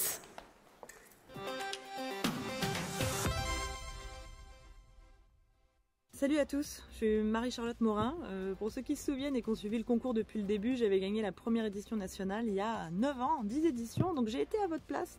Je sais ce que vous ressentez, beaucoup de stress, hein ne mentez pas. Votre directeur de labo vous a laissé sortir, donc là il faut assurer grave. hein. donc je sais, je sais tout ça. Vous allez assurer, l'important c'est de s'amuser, je sais que vous avez tous envie de parler un petit peu plus de votre thèse, de faire découvrir ce que vous faites dans les laboratoires aux gens, c'est l'essentiel du concours et l'important c'est d'avoir un peu de fun. J'ai beaucoup apprécié faire ce concours. Euh, Qu'est-ce que vous arrivez après ça? Bah, Pour les gagnants, ça va être euh, la gloire, euh, la médiatisation, hein, la fortune. Enfin, la fortune. Tout est relatif. hein. C'est la seule fois de votre thèse où vous pourrez doubler votre salaire. Profitez-en. vous allez kiffer. Bonsoir les finalistes, bravo pour vos prestations, bravo pour ce concours, vous pouvez être fiers de vous et de ce que vous avez fait, de ce que vous avez appris. Moi j'ai fait le concours il y a 5 ans, aujourd'hui je dirige une start-up, on lève des fonds, donc je passe le plus clair de mon temps à pitcher l'activité de l'entreprise devant des tas de personnes très variées et je retrouve la même passion, le bonheur de partager euh, un discours un peu préparé, un peu travaillé devant des personnes qu'on arrive à captiver. Et ça, vous voyez, si vous avez réussi à faire ça, eh bien, dites-vous que quelle que soit la suite de votre carrière, vous pourrez remettre ça à profit dans votre vie. Bravo et à bientôt. Et sinon, bah, si vous avez envie de continuer dans la com, peut-être que la chance vous sourira et que, comme moi, vous ouvrirez votre propre boîte de com euh, scientifique. Voilà. Bon, alors je vous cache pas, hein, la thèse c'est du boulot, mais avoir sa propre boîte c'est aussi euh, c'est prenant. Euh, ouais, ouais, c'est prenant, mais, mais on s'y fait, hein, de passer 18 heures par jour au labo. Chers finalistes 2023, j'imagine que vous êtes dans un état quantique partagé entre je suis stressé et je suis très excité, soit de passer sur scène, soit de connaître les résultats. Je suis passé en 2017 et j'étais à votre place. C'était à la maison de la radio, dans le studio 104, devant un parterre de journalistes que j'écoute tous les matins sur France Inter. Et ce jour-là, ben, c'est eux qui m'ont écouté faire le malin sur scène. Pour moi, ma thèse en 180 secondes, ça a été une expérience très enrichissante, une parenthèse au milieu de mon doctorat. Et ça m'a permis de prendre du recul par rapport à ma thèse. Je suis sûr que vous serez brillant. En tout cas, j'espère que vous ferez briller la science. Bonne chance à tous.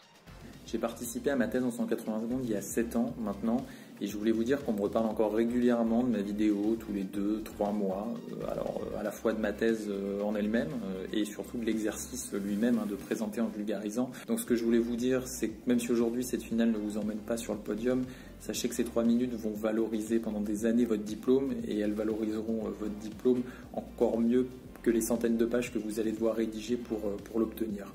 Donc je voulais vraiment vous dire à toutes et tous bonne chance pour, pour cette finale. Allez, profitez. hein.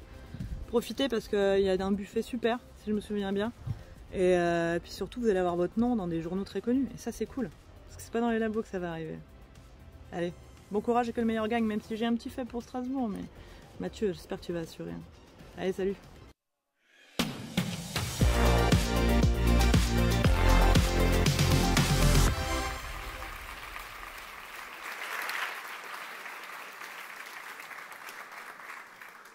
Fortune. Vous avez retenu. Donc vous avez évidemment reconnu Marie-Charlotte Morin et Philippe Le Bouteiller qui ont tous les deux gagné le prix du public à la finale internationale euh, qui a lieu tous les ans. Euh, et je crois que euh, Pierre, tu es avec d'anciens candidats aussi.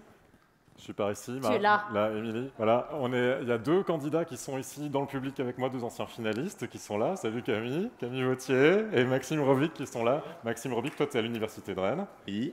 Ça vous fait quel effet de vous retrouver dans le public, Camille, euh, cette année? Ah, c'est beaucoup plus confortable. non, si je peux donner un conseil aux candidats et aux candidates, c'est plutôt le public en fait. Ouais, ce sera pour l'année prochaine peut-être. Toi, tu étais finaliste l'an dernier, Maxime. Ouais. C'est ouais, plus ouais. confortable, tu Alors, En effet, en effet, c'est beaucoup moins stressant. Il fait un peu chaud quand même ici. Ouais. Bah, manque de bol, je vais vous demander de me suivre. On va retourner sur scène en censure. Allez Allez, c'est parti. On les applaudit bien fort s'il vous plaît.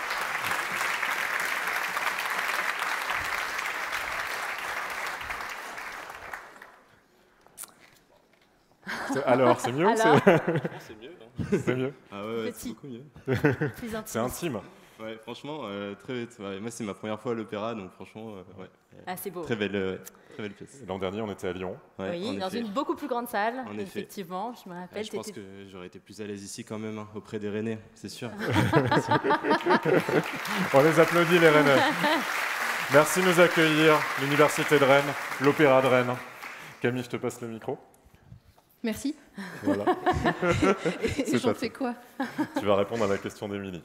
Ah non, mais moi j'avais une question pour Maxime en fait. Pour Maxime. Alors, je repars. Je- Merci, je le prends je- Tu peux le prendre. j'ai le droit. Merci. Excu- Excuse-moi, Maxime. Oui. Euh, je me rappelle effectivement de toi lors de la finale. Ah oui, Euh, ouais. Alors, du coup, un an plus tard, qu'est-ce que tu retiens d'MT 180 Ah, c'était cool, c'était Ouais. cool. Franchement, euh, ça m'a ça m'a ouvert plein de portes. Déjà, pouvoir re-être là ce soir, c'est trop bien. euh, voilà. Euh, ça m'a permis aussi bah, de, de me connaître un petit peu plus, de connaître un peu, euh, un peu plus euh, ce que je voulais faire plus tard. Et bah, du coup, j'ai continué là pendant ma petite année, ma thèse hein, avant tout. euh, T'es bien encore sûr. doctorant? Oui, je suis encore doctorant. Normalement, je, je soutiens en décembre, on espère, que si tout se passe bien. et voilà. Et, mais ouais, tu- mon année a été rythmée de, des, des restes de ma thèse en 180 secondes et c'était vraiment trop bien. Donc voilà, j'ai aussi une excellente année. Génial, magnifique. Alors Camille, je vais quand même te poser une question. Oui, bah c'était il y a 5 ans. Tu étais à mi-chemin finalement de l'histoire de ma thèse en 180 secondes vrai, en- ouais. en France. Quel, quel- quel chemin t'as parcouru euh, depuis? Qu'est-ce que tu fais depuis? Euh, Depuis, j'ai été prof au lycée, euh, dans l'Académie de Versailles, en banlieue parisienne, prof de SVT. Et maintenant, je suis enseignante-chercheuse à l'École normale supérieure de Rennes, dans le département des sciences pour l'environnement. D'accord. Donc deux expériences très différentes. Est-ce que le concours ma thèse en 180 secondes t'a suivi, t'a servi euh, pour, euh, pour ces deux expériences euh, Oui, en je tant que pense. prof En tant que prof. Je pense surtout la préparation au concours plus que le concours en lui-même. Je pense que travailler avec euh, le responsable de la communication scientifique de l'Université de Rennes, Ouais. qui nous aide, qui nous donne des conseils, discuter aussi avec les autres candidates et candidats, ça c'est extrêmement formateur. Et évidemment, ça sert quand on est prof. Donc c'était plutôt une formation qu'un concours? Oui, tout à fait. Ouais. C'est d'ailleurs pour ça que j'ai participé, c'est pour la partie formation. Et après, je suis allée au bout, mais ce qui m'intéressait, c'était la formation. C'est bien, c'est bien. Bravo, merci beaucoup à vous deux. Merci à vous deux, on vous laisse pour eux. Faut les applaudir.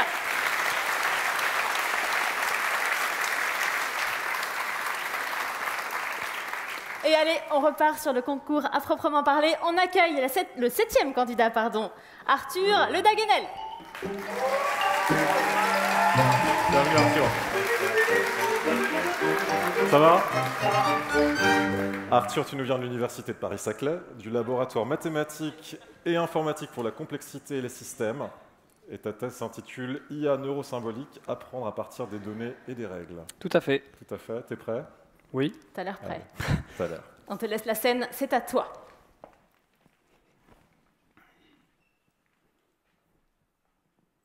Chez moi, tout le monde cuisine.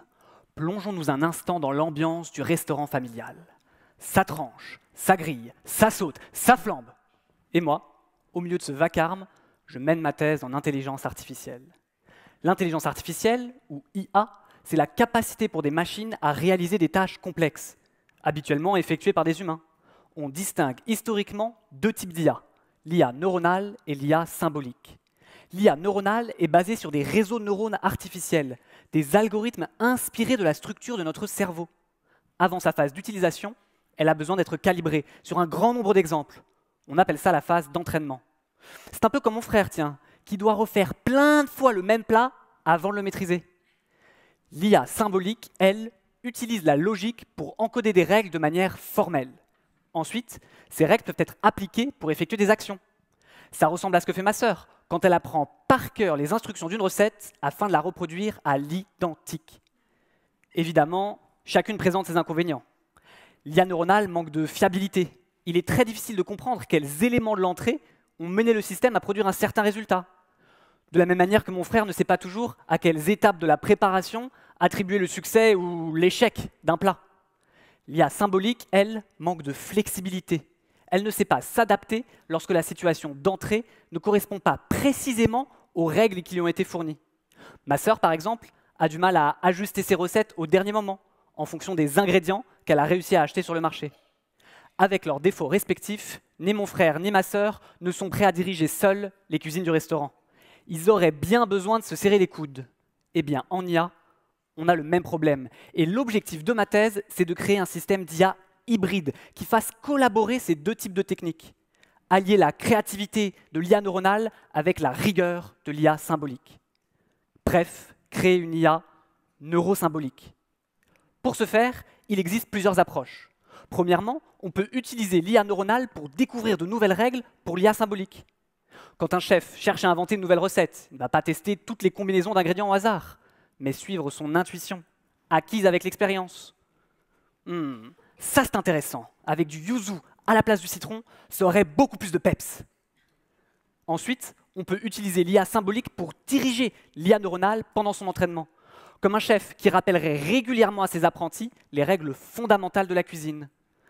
Pour une cuisson saignante du bœuf, cherchez pas plus loin, c'est 52 degrés de température interne. Mon travail pendant cette thèse consiste à exprimer ces approches en termes mathématiques, à les implémenter dans un langage informatique et évaluer leur efficacité dans des cas d'usage concrets. Finalement, en IA comme en cuisine, c'est l'union qui fait la force.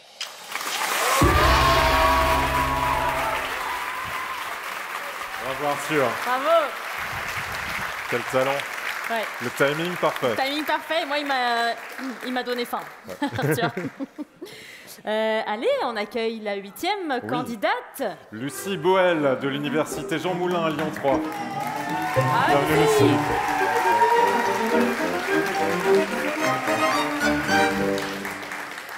Salut Lucie, bienvenue sur scène. Merci. Alors, ton laboratoire, c'est donc. euh, bah non, il n'y a pas ton laboratoire. Si Pardon, Institut de recherche philosophique de Lyon, c'était sur l'autre côté de C'est ça, oui. Et ton sujet de thèse, heuristique de l'ignorance en sciences, comment les ignorances structurent la pratique scientifique. Exact. Ok, on va t'écouter nous éclairer sur l'ignorance. À toi de jouer. Merci.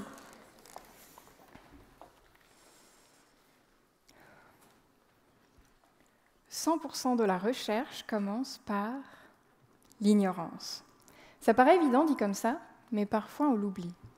Ce qui intéresse la plupart des gens en sciences, c'est la connaissance. Mais moi, je préfère me concentrer sur le point de départ plutôt que sur la destination.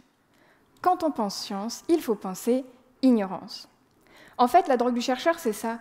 Ne pas savoir, c'est grisant, ça nous tient éveillés, ça nous dope. Vous imaginez bien que ce n'est pas pour le statut ou le salaire qu'on est doctorant. C'est pour l'excitation qu'on ressent quand on pense à nos travaux. On a une question, mais pas de réponse, et ça nous obsède. En fait, l'ignorance, c'est le carburant du scientifique. Alors moi, je suis doctorante en philosophie des sciences et je travaille sur la manière dont l'ignorance structure la recherche. En quoi elle a un point de départ, comment elle influence l'enquête et quelle place elle a à la fin. 100% de la recherche commence et se termine par l'ignorance. Là, c'est tout de suite moins évident. En pratique, faire de la recherche, c'est comme chercher un chat noir dans une pièce sombre. Première étape, on identifie notre ignorance. On entend un chat miauler, on se rend compte qu'on ne sait pas où il est. Deuxième étape, on formule une question. À quel endroit dans la pièce le chat se trouve-t-il? Troisième étape, on détermine une méthode pour nous permettre de répondre à notre question. Est-ce qu'on prend la mesure de la pièce? On prend sa température? On peut aussi chercher un interrupteur ou bien tâtonner dans le noir jusqu'à tomber sur le chat. Quatrième étape, la découverte. On trouve l'interrupteur, la pièce s'illumine et on voit le chat dans un coin. On se demande comment il est arrivé là. Ou alors, il n'y a pas de chat du tout, il y a un raton laveur à la place. On se rend compte que notre question n'était pas la bonne et on se demande d'où vient le miaulement qui nous a poussé à chercher le chat. Cinquième étape, l'ouverture. Dans tous les cas, la recherche nous mène à d'autres questions, donc d'autres ignorances, qu'on poursuivra ensuite ou non. Je m'intéresse à la manière dont les chercheurs prennent en compte l'ignorance, comment ils l'identifient, la formulent, la sélectionnent, l'investiguent, la dépassent. Bref, je cherche mon chat noir. Pour ça, j'effectue des recherches sur les conditions de l'ignorance. J'étudie un cas en histoire de la biologie et je fais en laboratoire pour interroger les chercheurs sur leur rapport à l'ignorance. Ma thèse, elle jette une lumière nouvelle sur la science en illuminant les recoins les plus sombres de la pièce. Parce qu'en connaissant l'ignorance, on peut mieux comprendre la science. Mais pour le moment, tout ce que je sais, c'est que je ne sais rien.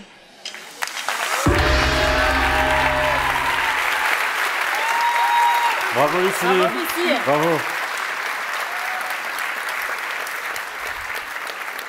Et un petit peu moins ignorant grâce à Lucie. Exactement. On accueille maintenant notre neuvième candidat, Goran Stanagic Petrovic. Salut Goran Bienvenue Goran. Tu nous viens de l'université Paris-Saclay. Exactement. Institut des sciences du vivant, Frédéric Joliot.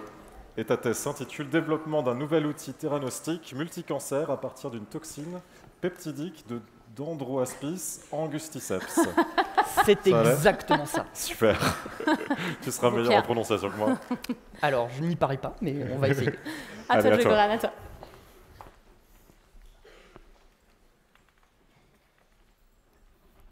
Mesdames, messieurs, laissez-moi vous emporter dans une aventure. Nous sommes quelques siècles passés et vous êtes un grand explorateur, passionné d'animaux dangereux.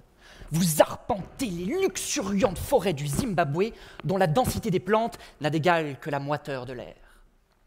Votre bras s'approche de la canopée, oui, vous êtes très grand, se saisit d'une liane et cette liane, animale et non végétale, se détend, se projette et vous mord. Vous venez de subir l'attaque létale du mamba vert. Vous titubez, tombez au sol, implorez un remède qui n'existe pas encore et mourrez. Saut temporel. Nous voilà revenus en 2023. Les cancers représentent encore un des plus grands défis pour la médecine moderne. Ils se développent sous la forme de tumeurs qui grossissent petit à petit, mais ne sont actuellement visibles qu'à partir d'une taille d'un centimètre. C'est souvent trop tard. Dans mon labo, nous avons décidé d'explorer le venin du mamba vert, toxine par toxine. Et bingo, l'une d'entre elles, la mamba inoffensive bien sûr, est incroyablement spéciale.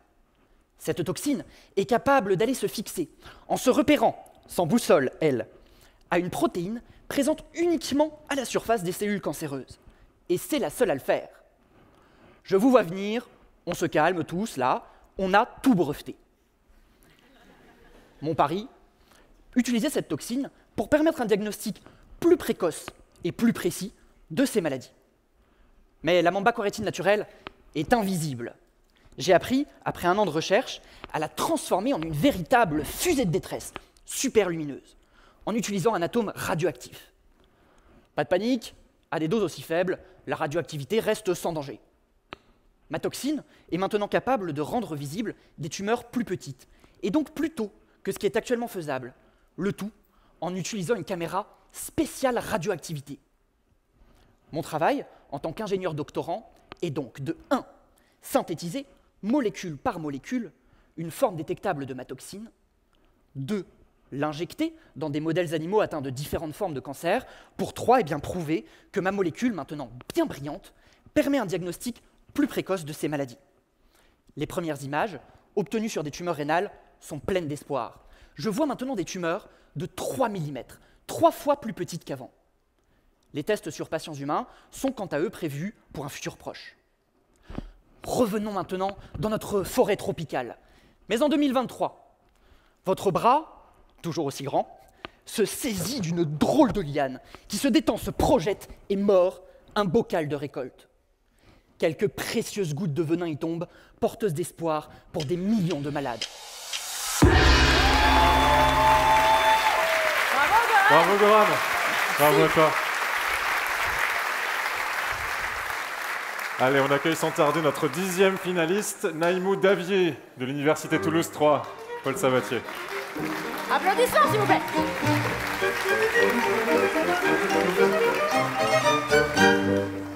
Bonsoir Naïmo. Bonsoir. Alors, tu viens du laboratoire de physique théorique. Exactement. Ton sujet, étude de l'interaction entre un électron et un skermion antiferromagnétique. Ça sonne mignon, on est dans l'univers de l'infiniment petit, non? C'est petit. C'est petit. Très petit. tu vas nous en parler à toi, Joey.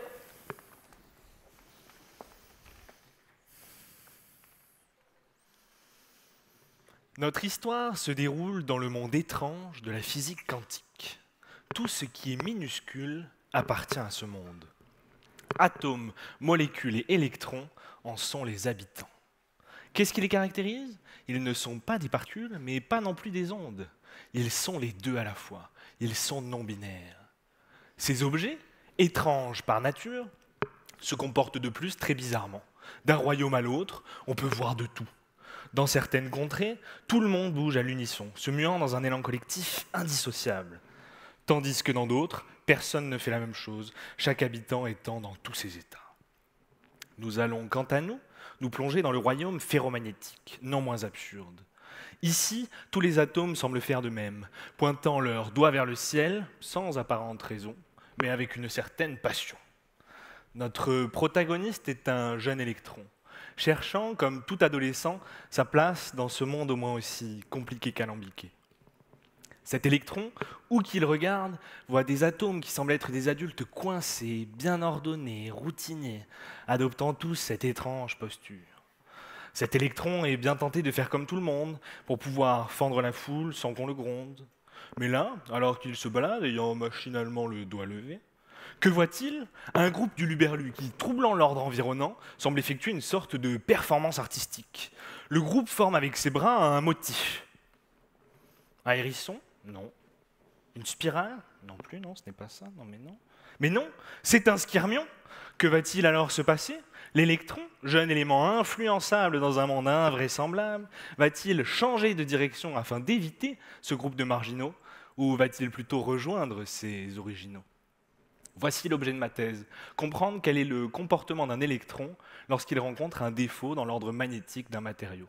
Pour cela, je décris d'une part l'électron, d'autre part le cortège d'atomes, et enfin leur interaction.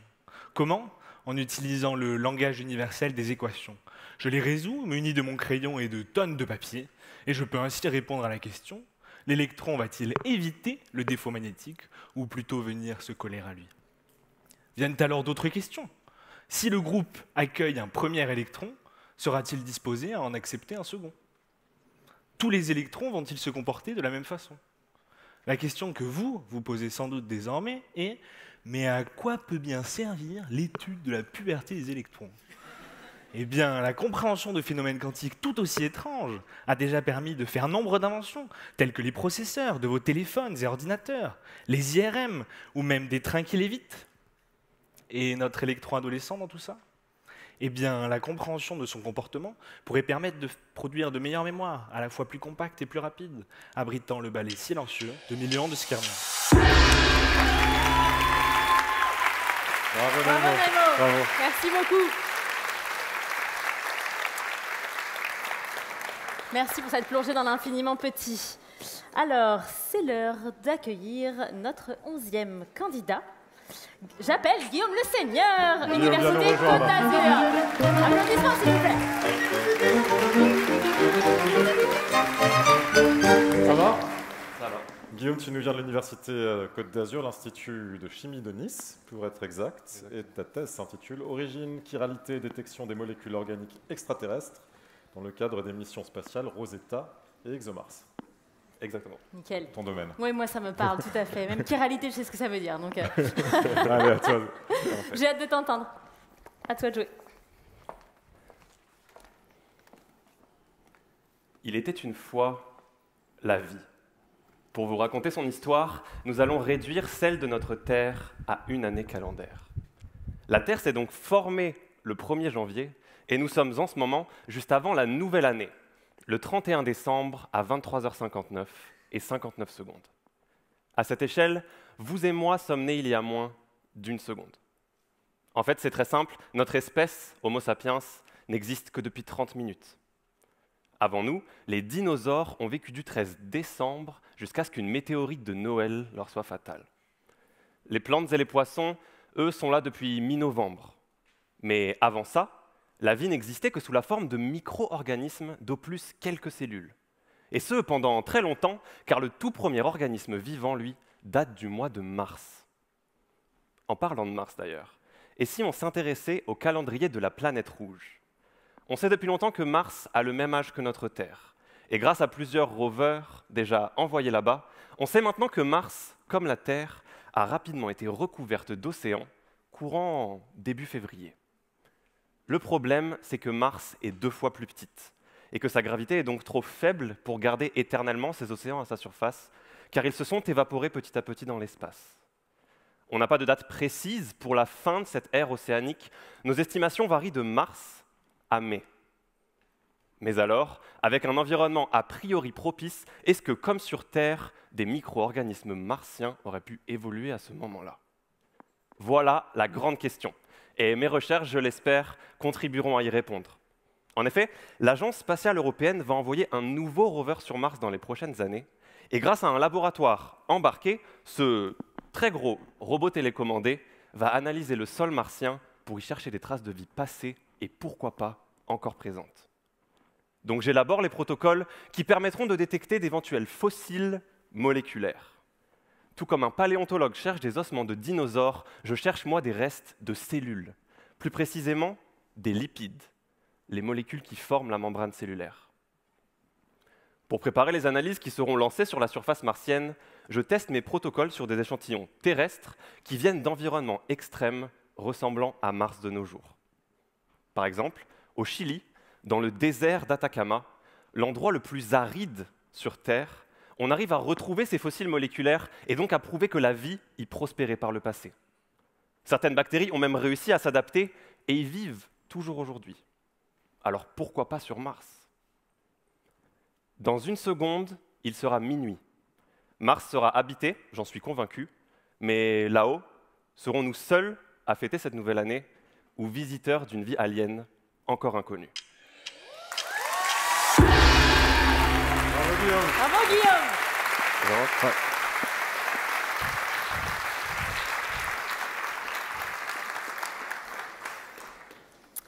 Allez, j'accueille maintenant la douzième candidate, Jeanne Chauvat, Université Toulouse 3. Applaudissements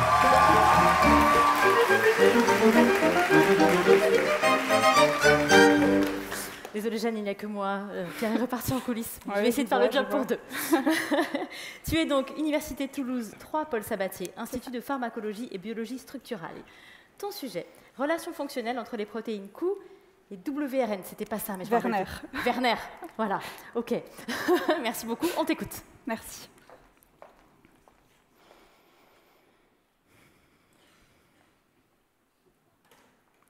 Laissez-moi vous raconter l'histoire de deux protéines.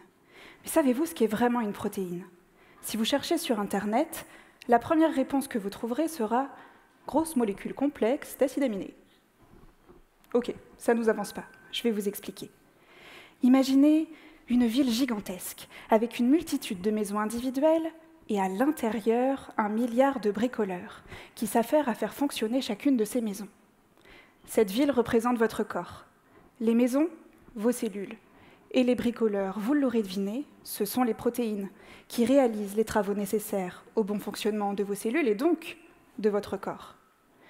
Alors vous vous doutez bien que ces bricoleurs ne travaillent pas forcément seuls, chacun de leur côté. Et bien c'est exactement ça mon sujet de thèse. Je travaille sur l'interaction entre deux bricoleurs, enfin entre deux protéines. Ma première protéine s'appelle Q et elle est essentielle à la survie des cellules. Ça veut dire que si Q disparaît, les maisons s'effondrent. Ma deuxième protéine, elle, c'est Werner. Et elle, elle n'est pas essentielle à la survie des cellules, mais elle a d'autres activités. Werner, c'est une hélicase de l'ADN. On pourrait aussi l'appeler une déroulase. Si vous imaginez l'ADN comme un tas de câbles électriques bien emmêlés, Werner, c'est l'électricien capable de le dérouler. Mes deux protéines, Q et Werner, interagissent ensemble. Elles peuvent se lier. Un peu comme si nos bricoleurs se tenaient par la main. Pas forcément le plus simple pour faire des travaux manuels, mais passons. L'objectif de ma thèse, c'est de montrer le rôle de Q sur les activités de Werner. Pour cela, je réalise des mutations, soit sur Q, soit sur Werner, soit sur les deux, et puis je regarde ce qui se passe.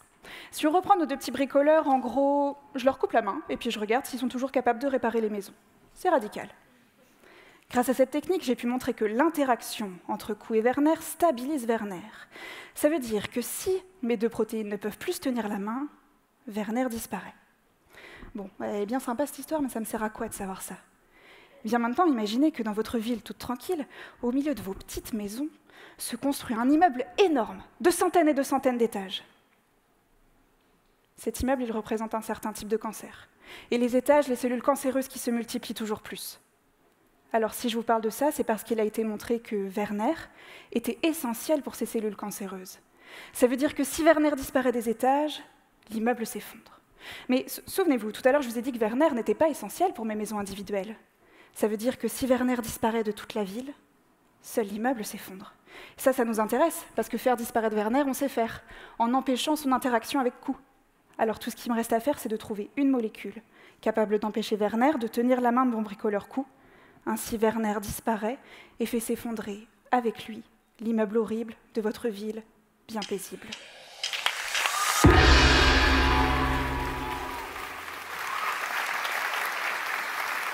Bravo Jeanne.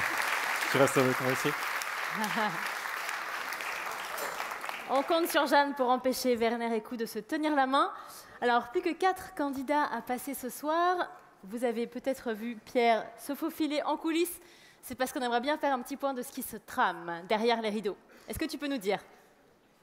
Oui, Amélie, j'avais juste envie de, recueillir les, réactions de Guillaume et de Jeanne au sortir de la scène. Comment tu te sens, tu te sens mieux, Guillaume, hein, maintenant? Ouais, ouais, mais franchement, c'est même sur scène, j'étais content. Ah, on ah, n'entend pas, pas. Désolé. Je vais en profiter pendant qu'on règle le problème de, de, micro pour vous dire qu'on est plus de 500, on est, je crois, quasiment 600 euh, spectateurs sur, euh, sur YouTube. Donc ça veut dire qu'on est vraiment nettement à plus d'un millier de spectateurs pour MT180. Tout le monde est resté. On est à la dixième édition, donc il y a un niveau d'exigence assez fort. Et ce que nous écrivent les personnes qui nous suivent, on leur a demandé ce qu'ils pensaient de vos performances, que c'est vraiment la crème de la crème, que Eh globalement il y a une très belle performance, une grande aisance euh, des, doctorants et des doctorantes. Vous êtes content de, de ces retours? Jeanne De ouf. Ouais Ah. T'es contente? On n'a toujours pas de son On n'a toujours pas de On son. n'a toujours pas de son, c'est pas de bol. On va, on va s'en sortir. En tout cas, ça y est. Est-ce qu'on t'entend, Guillaume? Est-ce qu'on m'entend? Ah oui T'es content d'avoir de nouveau le micro pointé sur toi? Ouais, super. non, mais vraiment trop content. euh, le public, ça s'est super bien passé. Presque triste euh, d'être passé déjà. Ouais, Eh ben, c'était bien. Il est bien le public de Rennes. Vous êtes bien On, va- on vous entend? Applaudissez Guillaume et Jeanne là, qui sont là. Merci à tous les deux en tout cas. Merci. Et je vais venir te rejoindre, Émilie, parce que je crois que c'est la dernière ligne droite. Dernière ligne droite, c'est parti. Il nous en reste quatre. Je t'attends. C'est bon, tu peux y aller. j'arrive, j'arrive. Je te laisse l'honneur d'accueillir notre 13e Oui, candidate. on accueille Camille Lacliffy. Viens nous rejoindre, Camille.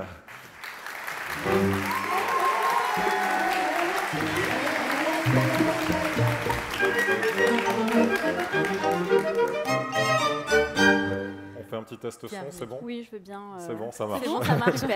L'université Paris-Cité, qui vient de du l'Institut du cerveau et, et de la moelle épinière. Pardon, je t'ai coupé la Mais parole. non, je t'en prie, il n'y a pas de problème. Ton sujet est un petit peu long, je vais vraiment lire ma fiche. Capacité métacognitive des cliniciennes et cliniciens. Quel lien entre la justesse objective des choix des futurs médecins et leur jugement de confiance subjectif dans leurs connaissances et décisions sous incertitude? Voilà, compte sur toi pour nous dire comment les médecins prennent leurs décisions sur nos cas. C'est ça? Allez, c'est parti, la scène est à toi. Merci.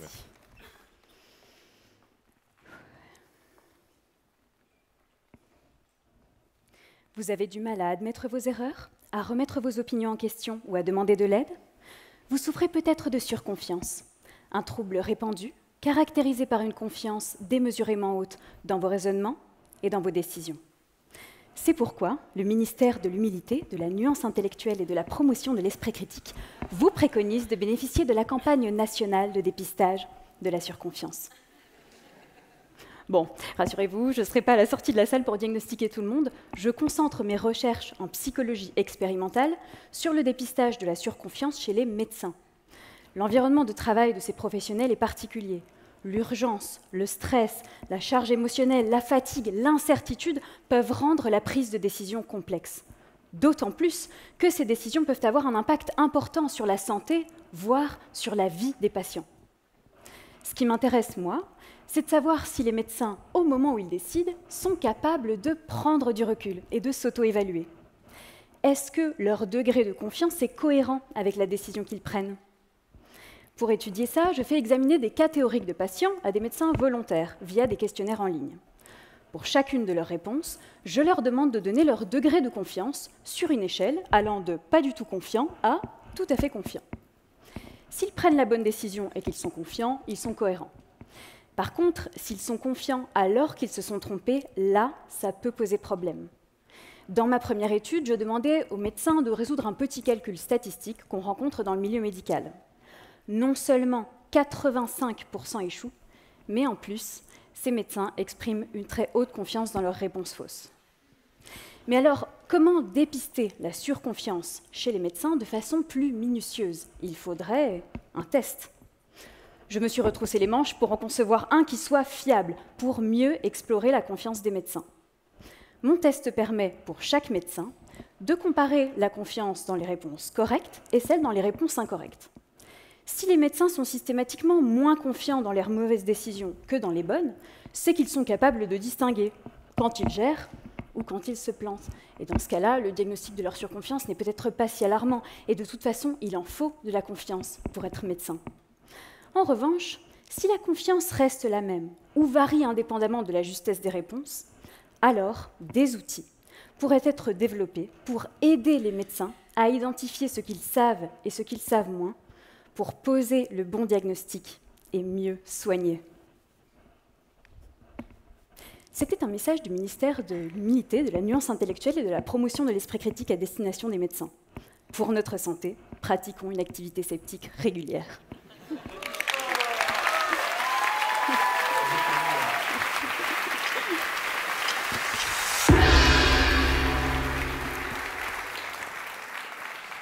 Génial. Allez, ouais, super. J'ai un peu la trouille maintenant quand je vais aller chez le médecin. De... Oui, c'est ça. Mais- Notre On compte 14e sur- finaliste. Oui, c'est parti. J'appelle Émilie Boucher, Université Grenoble-Alpes. Oh là là, quel fan club Bien accueilli. T'as un fan club, Émilie. Oui, je l'ai repéré, il est là, c'est bon. C'est bon, ils sont tous là. Bravo. Ton laboratoire, c'est le laboratoire Recherche translationnelle et innovation en médecine et complexité. Et complexité. Et ta thèse s'intitule Modèle d'études précliniques d'un régime riche en fibres sur la fonction du microbiote et la réponse immune anti-cancer. C'est bien C'est ça, ça, oui, c'est bien ça. On te laisse avec ton fan club? C'est ça. et la caméra en face de toi. Merci beaucoup. À tout de suite. Pour votre santé, mangez au moins 5 fruits et légumes par jour. Oui, je sais. On vous l'a déjà répété maintes et maintes fois. Mais savez-vous pourquoi? Il est important de manger des fruits et légumes Pourquoi, ou en réalité, devrais-je dire, pour qui? Mais comment ça, pour qui? Mais pour votre microbiote intestinal, pardi Ce sont ces 10 000 milliards de bactéries qui vivent dans votre intestin. Tenez-vous bien, elles sont dix fois plus nombreuses que vos cellules humaines et elles pèsent comme un dictionnaire Larousse. Alors finalement, on est peut-être un petit peu plus bactérien qu'être humain. Et ça, il me semble que c'est une raison valable pour aller chouchouter tout ce petit monde. Pour cela, rien de tel que les fibres alimentaires. Ce sont de longues molécules que l'on retrouve dans les fruits et légumes. Mais elles sont bien trop longues pour être digérées par notre corps. Moi, je vous vois venir. À quoi ça sert de manger des fibres si on n'est même pas capable de les digérer? Vous l'avez? Pour nos bactéries, elles vont se régaler de ces fibres et en échange nous maintenir en bonne santé. Et parmi ces fibres alimentaires, il y en a une en particulier. C'est l'inuline, la star de ma thèse. On la retrouve dans les artichauts, les endives ou encore les oignons. J'étudie comment l'inuline renforce notre corps et nous protège contre de nombreuses maladies, comme le cancer. En temps normal, la première ligne de défense de notre corps, c'est notre système immunitaire. Il patrouille en permanence à l'affût d'une nouvelle maladie et dès qu'il en trouve une, tout s'active pour l'éliminer. Mais le problème, dans le cas du cancer, c'est qu'il affaiblit rapidement notre système immunitaire afin de l'empêcher de combattre. Mais heureusement, les bactéries de notre intestin sont en communication constante avec notre système immunitaire et lui envoient des messages codés afin de le maintenir éveillé. Les endives sont cuites. Je répète, les endives sont cuites. Alors pour décrypter ces codes secrets entre l'alimentation, le microbiote, l'immunité et le cancer, j'utilise des souris. Je sais, on dirait pas comme ça, mais les souris ont un microbiote très semblable au nôtre et elles peuvent aussi avoir des cancers. Dans ma thèse, j'utilise deux groupes de souris. Des souris nourries normalement et des souris nourries avec de l'inuline. Et ensuite, je regarde chez ces souris leur microbiote, leur immunité et leur cancer. Eh bien, figurez-vous que j'ai pu montrer que quand les souris mangent de l'inuline, eh bien, tout cela change. Des nouvelles bactéries arrivent dans l'intestin. Les cellules immunitaires sont plus fortes, plus éveillées, plus nombreuses, mais surtout, l'évolution du cancer est ralentie. Mais oui, l'évolution du cancer est ralentie. Et tout ça seulement grâce à quelques fibres. Alors rappelez-vous que pour votre santé, mangez au moins 5 fruits et légumes par jour.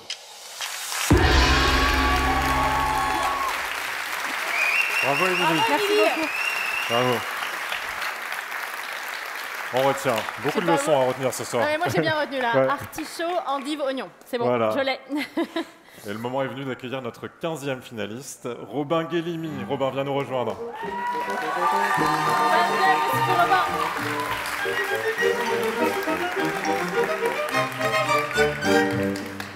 Robin, tu es de l'université Paris-Est Créteil, laboratoire. Ah oui, en anglais. En anglais. Epidemiology in Dermatology and Evaluation of Therapeutics. Génial, bon. Ok, et ton titre de thèse est en français, lui. Revue systématique des méta-analyses en réseau évaluant l'efficacité et la tolérance des traitements systémiques dans le psoriasis en plaques modérées à sévères. C'est exactement ça, oui. Tu vas nous parler donc de notre peau ce soir. De la peau, ouais. Allez, on t'écoute. À toi de jouer.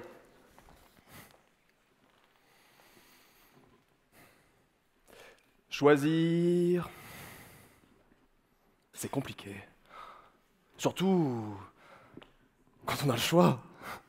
Cela peut concerner des décisions légères comme choisir une viennoiserie dans une boulangerie. Ah, impossible de tout goûter. Alors on s'imagine. On compare dans nos têtes les caresses sucrées des savoureux délices. Bon, décision peu risquée, c'est vrai, mais dans ma spécialité en dermatologie, il y a du choix aussi. Dans la vitrine, pas moins de 20 médicaments pour traiter le psoriasis, une maladie de peau qui donne d'épaisses plaques rouges sur le corps et qui touche plus de 100 millions de personnes dans le monde. Et vous me direz, 20 médicaments? Génial! Mais en tant que médecin, je propose quoi? En tant que patient, je choisis quoi? Le traitement le plus efficace? Le mieux toléré? Oui, car ces médicaments ne sont pas dénués d'effets secondaires, et les patients doivent parfois les prendre pendant plusieurs années. Ah, choisir, c'est compliqué, surtout quand on a le choix. Mais intervient la méta-analyse en réseau, une méthode statistique qui compare plusieurs médicaments les uns par rapport aux autres pour former un réseau.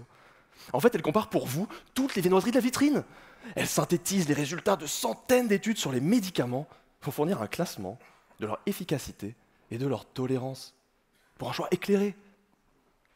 Super canon, pas vrai? Puissante, élégante, complexe. Mais cette méthode a tout pour plaire. Tellement que dans ma thèse, je retrouve 10, 20, 50 méta-analyses qui comparent les médicaments du psoriasis. Et ces méta-analyses se contredisent. Elles se contredisent? Pas tellement pratique pour nous aider à choisir notre croissant? Déjà qu'on avait du choix, maintenant on a du méta-choix. La méta-galère. Mais pas question de renoncer. Alors je cherche ce qui, dans les données ou dans les méthodes, change des résultats. En simulant dans mon ordinateur toutes les méta-analyses possibles. Finalement, je joue au médecin. Mais en statistique, cette fois-ci. J'ausculte, je palpe, je percute des centaines de méta-analyses. Je les observe et je les compare pour comprendre pourquoi elles ne répondent pas pareil quand on leur pose la même question. Est-ce un problème de données incomplètes De méthodes imparfaites De conflits d'intérêts? Une fois identifiés les paramètres qui changent les résultats, cela permettra de réaliser des études de meilleure qualité afin de déterminer avec une plus grande confiance quels sont les meilleurs médicaments. Et pas seulement en dermatologie, mais dans toutes les spécialités médicales. Alors, choisir c'est compliqué? Beaucoup moins quand on est bien informé, que ce soit pour un croissant ou un médicament.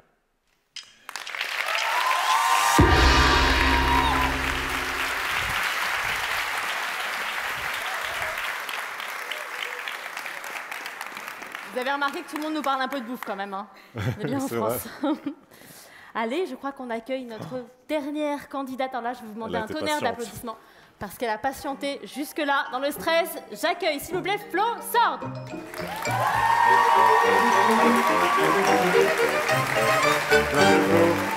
Salut Flo. Flo, tu nous viens de l'université de Nîmes, laboratoire risque chronique émergent, et ta thèse s'intitule Du devenir des sédiments dragués riches en chlorure, gestion innovante par voie de la phytorémédiation. Oui. Tu te sens prête? Oui. L'attente est terminée, c'est à toi. Allez.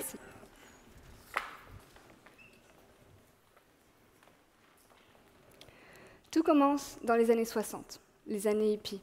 Vous savez, ces idéalistes qui considèrent que la solution contre la guerre, c'est l'amour.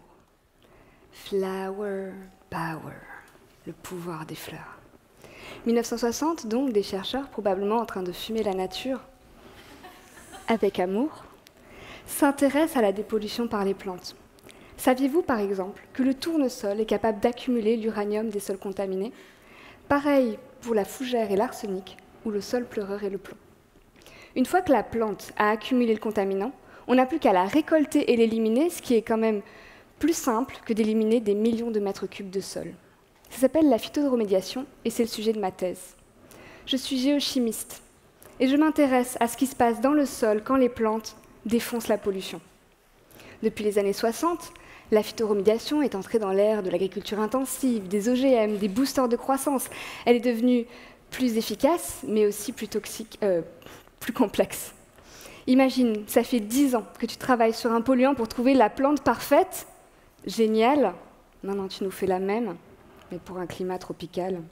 D'ailleurs, est-ce que ça fonctionne toujours si on double la dose de polluant et en cocktail avec d'autres contaminants? Voilà. Alors moi, j'ai décidé de changer d'approche et de m'inspirer de l'optimisme des hippies. Aujourd'hui, la phytoremédiation, c'est on plante, ça absorbe, on coupe, ça dégage. Et si plutôt on faisait, on attend. On attend. On attend, quelque chose pousse, ça absorbe, on coupe, ça dégage. Si on laissait la nature choisir quelle plante va repousser, est-ce que ça accélérerait le processus? Alors ma thèse est très peace hein. je parle d'amour, de phytoremédiation, mais surtout je parle de drague.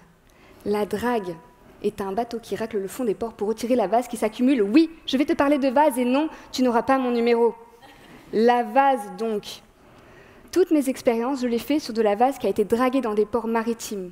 Je m'intéresse à l'élément chimique du chlorure. Et je me rends dans des endroits où la vase a été stockée et où des plantes ont spontanément repoussé. J'analyse les plantes et le sol en laboratoire, et ce que j'ai découvert, c'est une compétition. D'un côté, il y a des plantes qui poussent très bien, mais qui n'accumulent pas grand-chose, voire même qui changent le sol dans lequel elles poussent pour que le contaminant reste. Mais il y a d'autres plantes, comme la salicorne ou l'alimion portulacoïde, qui accumulent énormément. Si ces plantes gagnent, on pourrait décontaminer ma vase en moins de trois ans. Voilà. Alors, euh, moi, je suis arrivée avec mes velléités pacifistes. Tout ça pour me rendre compte que la nature ne fait pas du tout l'amour, mais bien la guerre.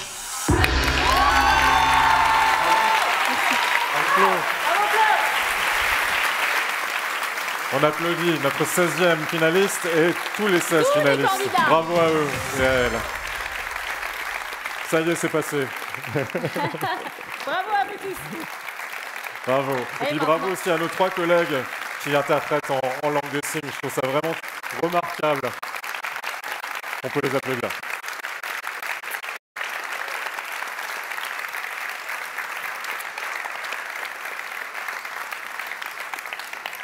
Et maintenant, ça va être à vous. C'est à vous. Le jury. Regarde, ça va être l'heure de départager les 16 finalistes, de choisir le préféré, celui qui va représenter la France en finale internationale. Et, oui. et là, on est content de ne pas être à ta place, ouais. C'est pas beaucoup plus facile, on est d'accord ah, C'est okay. pas si ouais. facile. Ah, galère. Et puis, ça va être à vous sur YouTube, à distance, ou à vous ici dans la salle, à l'Opéra de Rennes, parce que vous allez pouvoir voter pour le prix du public. Alors, on va vous expliquer, ça doit s'afficher derrière moi. Non, là, vous avez pour le moment les 16 numéros. On va vous laisser un petit peu plus que 180 secondes pour le faire. Donc, vous avez le temps de les regarder tranquillement. Les 16 finalistes sont derrière moi. Et vous avez pris des notes, bien sûr. Voilà. Et alors, ce qui va vous servir à faire ça, c'est votre téléphone, votre smartphone. Parce qu'il va falloir se connecter. C'est gratuit, hein. il n'y a pas de, non, il y a pas de prix du SMS, y a rien pas de du SMS. tout. Donc, il va falloir se connecter à un site, question.direct. Il, voilà, il s'affiche derrière moi. Question.direct slash France Université, au pluriel évidemment. Et puis vous entrez sur l'événement Ma thèse en 180 secondes, vous cliquez dessus, Ma thèse en 180 secondes, finale nationale 2023. Vous entrez, il y a un mot de passe MT180 en majuscule. Ça doit s'afficher aussi, euh, la régie euh, doit l'afficher aussi pour ceux qui nous regardent sur YouTube. Et puis là, quand vous avez tapé ce mot de passe MT180, vous votez tout simplement. Vous avez à peu près Ça dépendra d'Alfani et de ses collègues du jury, mais vous avez à peu près 30, 30 minutes, minutes. pour voter. Donc prenez votre temps. Vous pouvez même changer d'avis si, vous, sûr. si vous relisez vos notes tranquillement. Mais l'important, c'est de voter parce que le candidat, la candidate ou le candidat qui va remporter ce prix du jury, ça sera celle ou celui qui aura le plus de votes. C'est ça. Et alors maintenant, on va, on va avoir un court entra- enfin, un court entracte, un entracte, le temps Ouais. que le jury délibère. Mais c'est pas vraiment une pause non plus. Ouais, ne partez pas trop loin.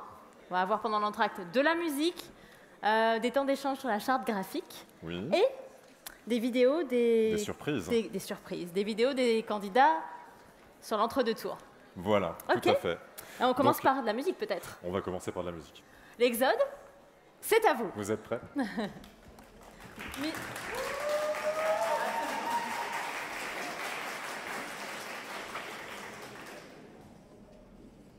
Thank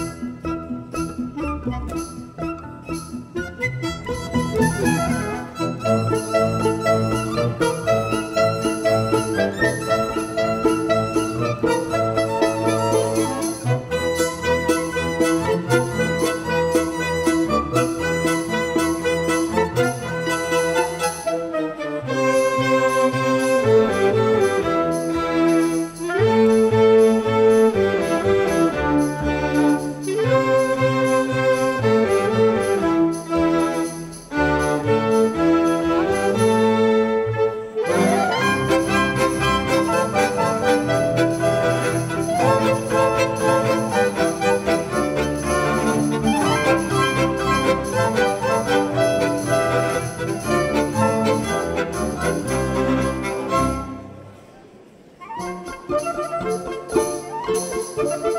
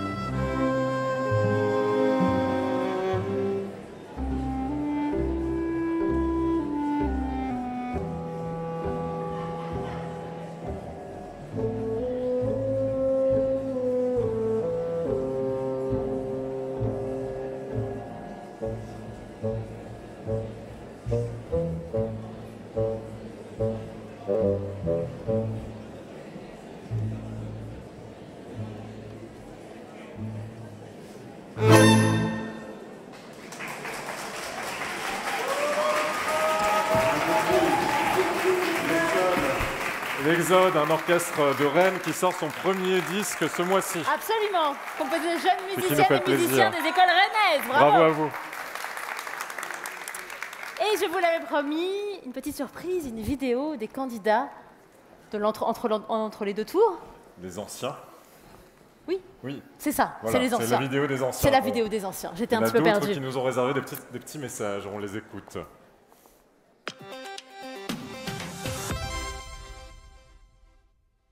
Bonsoir à tous et félicitations aux doctorants de l'édition 2023. Si vous êtes là ce soir, c'est que vous avez dû briller. De ce que je comprends, on en est à attendre l'annonce des résultats. Ça veut dire que le plus dur est derrière vous. Tout ce qui reste maintenant, c'est juste d'attendre, donc ça va. Plus sérieusement, euh, ma thèse en 180 secondes, euh, c'est l'occasion de voir une autre manière de parler de sa discipline, de sa recherche, qui est quelque chose de très enrichissant. J'espère que vous vous êtes enrichis ce soir. Je vous souhaite à tous euh, une excellente soirée. Alors après ma thèse en 2019, euh, j'ai rejoint le Max Planck Institute en Allemagne pour continuer mes recherches sur l'évolution humaine en Afrique et que j'ai la chance de continuer aujourd'hui en Espagne grâce à une bourse postdoctorale Marie Curie Sklodowska. MT180, ça a été une aventure fabuleuse, extraordinaire, tant sur le plan humain que sur le plan formation. C'est un concours qui m'a donné une grande confiance en moi, une visibilité extrêmement importante également lorsqu'on est jeune chercheur. Euh, Même si cela reste évidemment un concours, j'ai vécu d'excellents moments de camaraderie, de rigolade, de connivence avec les autres candidats, et le tout soutenu et encadré par une équipe bienveillante, extraordinaire, qui se donne à fond. Alors ce que j'aimerais dire ce soir à toutes et à tous, c'est bravo pour cette superbe finale MT180, et participer à ce concours, c'est déjà vivre une aventure phénoménale, et ça, c'est déjà gagné. Bravo à tous et à toutes.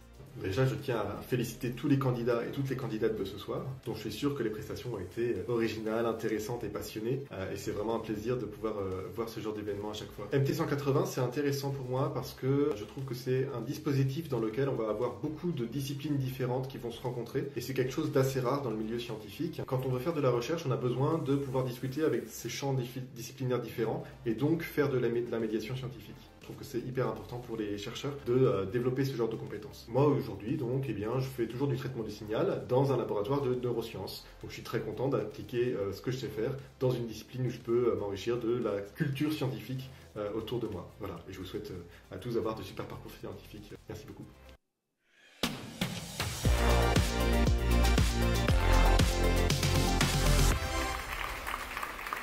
Alors, est-ce que ce serait Voilà. pas l'heure de faire un petit point sur les réseaux sociaux Oui, et puis sur notre live YouTube, vous êtes toujours pendant l'entracte, environ un petit peu moins de 400 à nous suivre, euh, à voter en ce moment.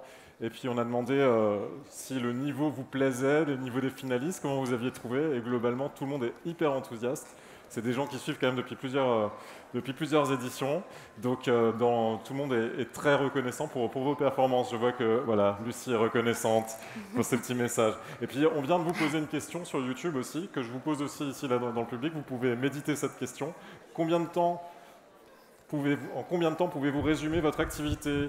Trois mots, trois minutes ou trois heures? C'est une question qu'on peut méditer après cet exploit des 16 finalistes ce soir, je trouve. Voilà, bravo à vous encore. Continuez à voter. Vous avez. euh, alors là, vous l'avez plus. J'espère que vous avez 20 bien minutes. voté. Est-ce que tout le monde a voté ici dans le public? Oui?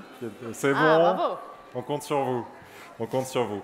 Alors, on va, le moment est venu d'accueillir euh, deux personnes qui ont participé aussi à leur manière euh, au dixième anniversaire de ma thèse en 180 secondes. On va vous appeler, c'est vous qui avez refait la charte graphique de MT 180. On appelle tout de suite Marie-Blanche Huette et François Couderlier.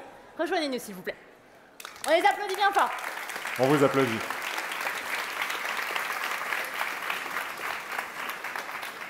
Merci. François, Marie-Blanche, toi tu es directrice artistique de ton propre studio Blanc Bureau et François, tu es motion designer. C'est euh, vous qui avez refait la charte graphique de MT 180. C'était quoi le- l'esprit de cette charte graphique? Qu'est-ce que vous avez voulu communiquer à travers euh, ce design qu'on découvre euh, ce soir? Bah, alors la, première idée déjà c'était de marquer le coup pour la dixième édition et du coup de, proposer euh, une identité euh, plus marquée et aussi euh, de montrer un côté plus accessible aussi. Donc voilà, je sais pas si tu voulais rajouter des choses. Oui, en fait, l'idée, c'était de pouvoir rendre cette charte évolutive au, fur et à mesure des années, de proposer quelque chose de nouveau, un nouveau visage pour la dixième édition. Et euh, nous, on l'a construite euh, avec un peu des formes que vous voyez sur le plateau. Euh, du coup, elles ont tout un sens, une symbolique, et elles sont un peu à l'image des candidats chaque année qui viennent euh, faire cet événement, en fait, qui est vraiment euh, euh, comme une mini-ville, un peu un totem de, de chaque saison. Et voilà, l'idée c'était à chaque nouvelle édition, euh, sa nouvelle ville et sa nouvelle arche de la connaissance. Super, c'est très réussi. Et peut-être une question avec vos yeux de graphiste. Qu'est-ce que vous avez pensé des diapos choisis par chaque candidat? Allez-y, franchement, ils sont passés de façon. euh, Ils sont passés. Et le jury n'est pas là. On n'influence plus grave. personne. Le jury est dans une salle, ils nous entendent pas, tout va bien. Bah, vous pouvez vous lâcher. Justement, moi, ce que j'aimais bien, c'est que c'était assez sobre. Euh, Souvent, pour les personnes qui ne sont pas dans le milieu graphique, euh, c'est Ouais. un conseil que je donne, c'est de rester plutôt sobre. euh, Et bah, c'était le cas, donc Ouais. c'était plutôt clair, donc euh, bien joué. Oui, et puis euh, moi je voulais les féliciter parce que c'était vraiment réussi. C'est pas évident, effectivement, quand c'est pas son métier de, de faire ce genre de, de choses. Et euh, moi j'étais jury à la demi-finale Ah. et, euh, et j'ai vu des petites évolutions et j'ai- bravo à vous. C'était super. vous avez ému tout le monde. Tu leur avais donné des conseils? À quelques-uns, oui. Ouais. D'accord. Super. Bah, merci à vous deux. Merci, beaucoup. et bravo Et à vous. et bravo pour la charte. Merci. Merci. Voilà, je vous rappelle quand même l'adresse pour voter. À vous aussi qui êtes euh, en distanciel, question.direct slash France Université au pluriel. Vous cliquez sur la finale MT 180 2023 et vous rentrez le mot de passe en majuscule MT 180 et puis vous votez. Voilà. C'est ça. Et c'est maintenant, en fait, le moment de la vidéo des candidats entre les deux Exact. tours. Vous allez voir comment ils ont ressenti le concours, comment le stress est monté. Est-ce que la vidéo est prête? La vidéo est prête? C'est bon. C'est bon.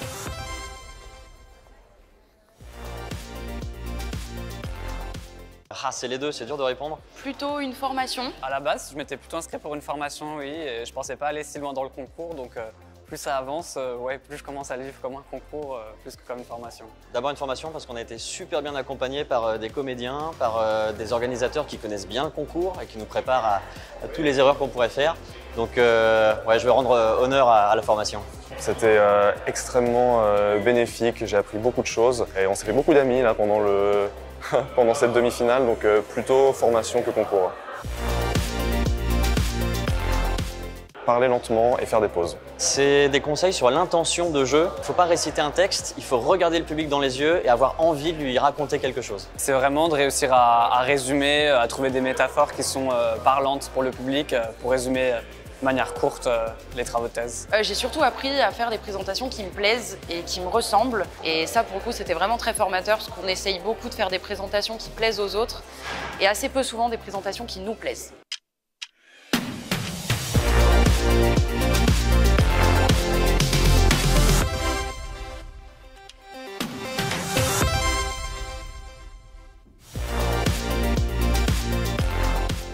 Bonne.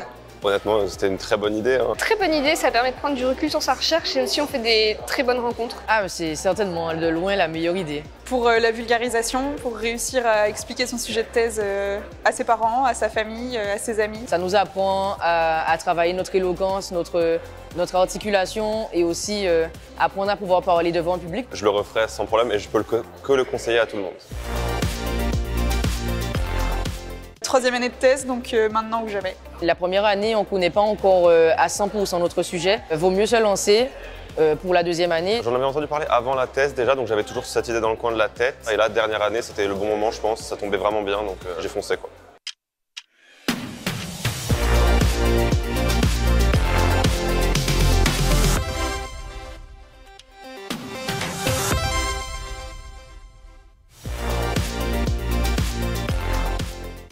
Honnêtement, ça passe crème? Ah, ça a commencé là? Ça passe crème? C'est une expression française en plus.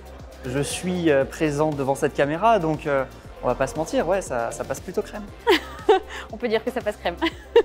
Ça passe crème parce que c'est euh, que des surprises. Au début, je comptais même pas me qualifier pour ma finale régionale et euh, là, c'est euh, à chaque fois que du bonus. C'était une grosse surprise en fait déjà d'arriver jusqu'en demi-finale. Alors là la finale euh, c'est une surprise encore plus grosse. L'expérience en soi est magnifique et présenter le sujet de thèse euh, à tout le monde, euh, c'est c'est excellent. Moyen on va dire, il y a du stress à gérer. Là, c'est vrai qu'à Paris, j'ai trouvé ça plus stressant parce que le fait d'avoir que des autres candidats, on se dit oulala, tout le monde va être très bon. Mais honnêtement, l'ambiance avec les doctorants était super sympa là. L'organisation était chouette. euh, Pour l'instant, tout va bien.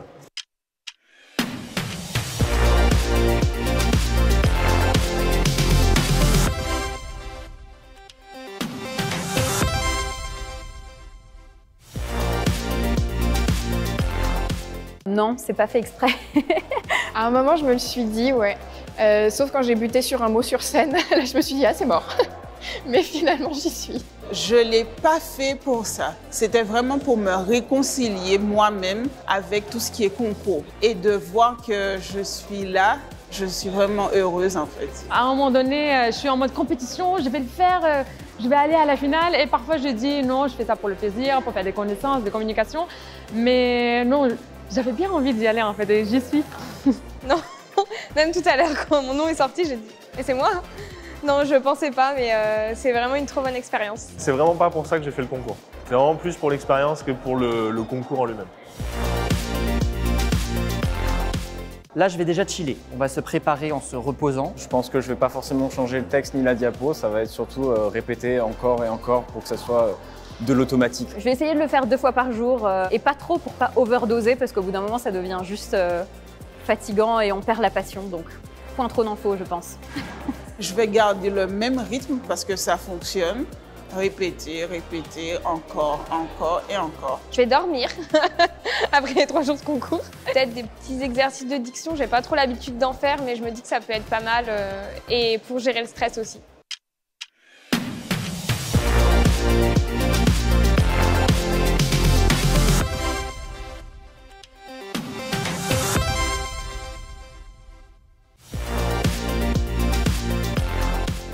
Oui. Maintenant, ils savent que je parle d'ignorance. Euh, ils savent qu'il y a une idée de chat noir quelque part et de raton laveur dans une pièce sombre. Mais ils ont compris que je faisais de la philo des sciences et ils savent ce sur quoi je travaille. C'était pas super clair, mais c'était pas trop loin d'être clair avant ma thèse en 180 secondes. Là, normalement, on est bon. J'espère, et ça m'enlève une grosse épine du pied parce qu'effectivement, c'était euh, un petit sujet de friction. Ils avaient l'air vraiment contents de pouvoir partager un peu plus sur la thèse avec moi. Ça leur a fait vraiment plaisir. Alors de là à dire qu'ils comprennent mon sujet de thèse, euh, un peu.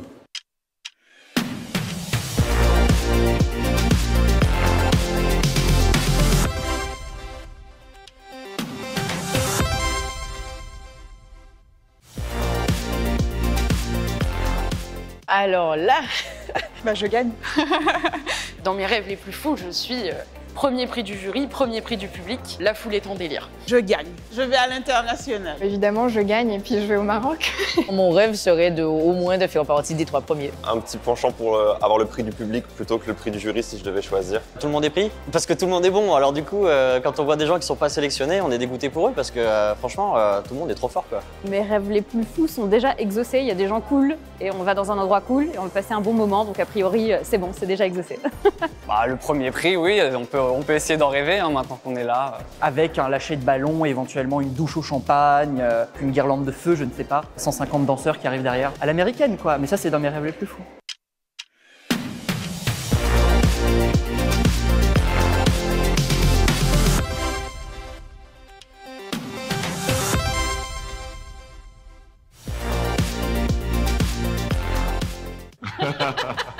Ça passe carrément crème. Carrément crème. Ouais. On est trop content de pouvoir euh, entourer l'équipe des 16 finalistes jusqu'à la finale à Rennes. C'est toujours un très bon moment, une belle aventure. Tout ce concours est baigné de bienveillance et c'est vraiment cool.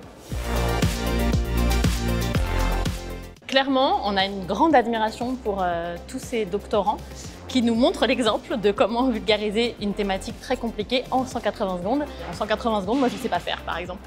Ils sont l'avenir de la vulgarisation scientifique. Prendre notre job quoi. Oui, Exactement. Bien apprendre les tutelles et après euh, continuer à être bienveillant avec eux. Voilà. La meilleure des préparations, de toute façon, c'est de se dire que ça va être euh, que du fun. Bah oui, bien sûr. Honnêtement, eux, ils, ils vont faire un show déjà euh, en- incroyable. Donc nous, il faut quand même qu'on fasse un show au moins à la hauteur. Ça, j'appréhende un peu. Une formation, clairement, moi je dirais ça.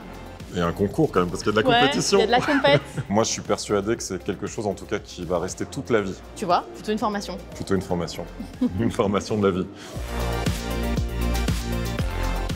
Amusez-vous. Amusez-vous, ouais. Amusez-vous. euh, vous avez déjà fait le plus gros. euh, ça va être une du super bonus. fête, ouais.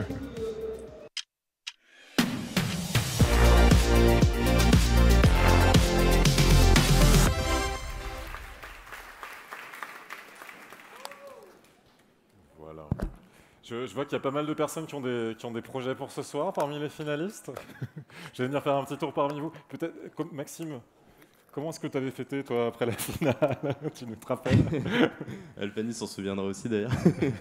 et du coup, euh, bah, nous, on a fait un petit tour euh, dans Lyon. Euh, on a profité de la vie nocturne là-bas. D'ailleurs, y avait il y a Bastien, candidat lyonnais, qui, qui nous a emmenés. On a fait une ouais, petite virée nocturne avec des bières, entre autres. Bon, très bien. Et des danseurs Alors euh, oui, alors c'était nous qui dansions. euh, on n'avait pas 150, on n'était peut-être pas aussi bons. Quoi. Voilà. Super.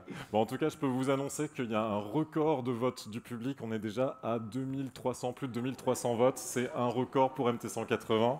Continuez à voter sur euh, l'adresse qui s'affiche en bas. J'espère qu'ici, dans le public, tout le monde a voté d'ailleurs. On va venir, je vais venir vous poser la question. Madame,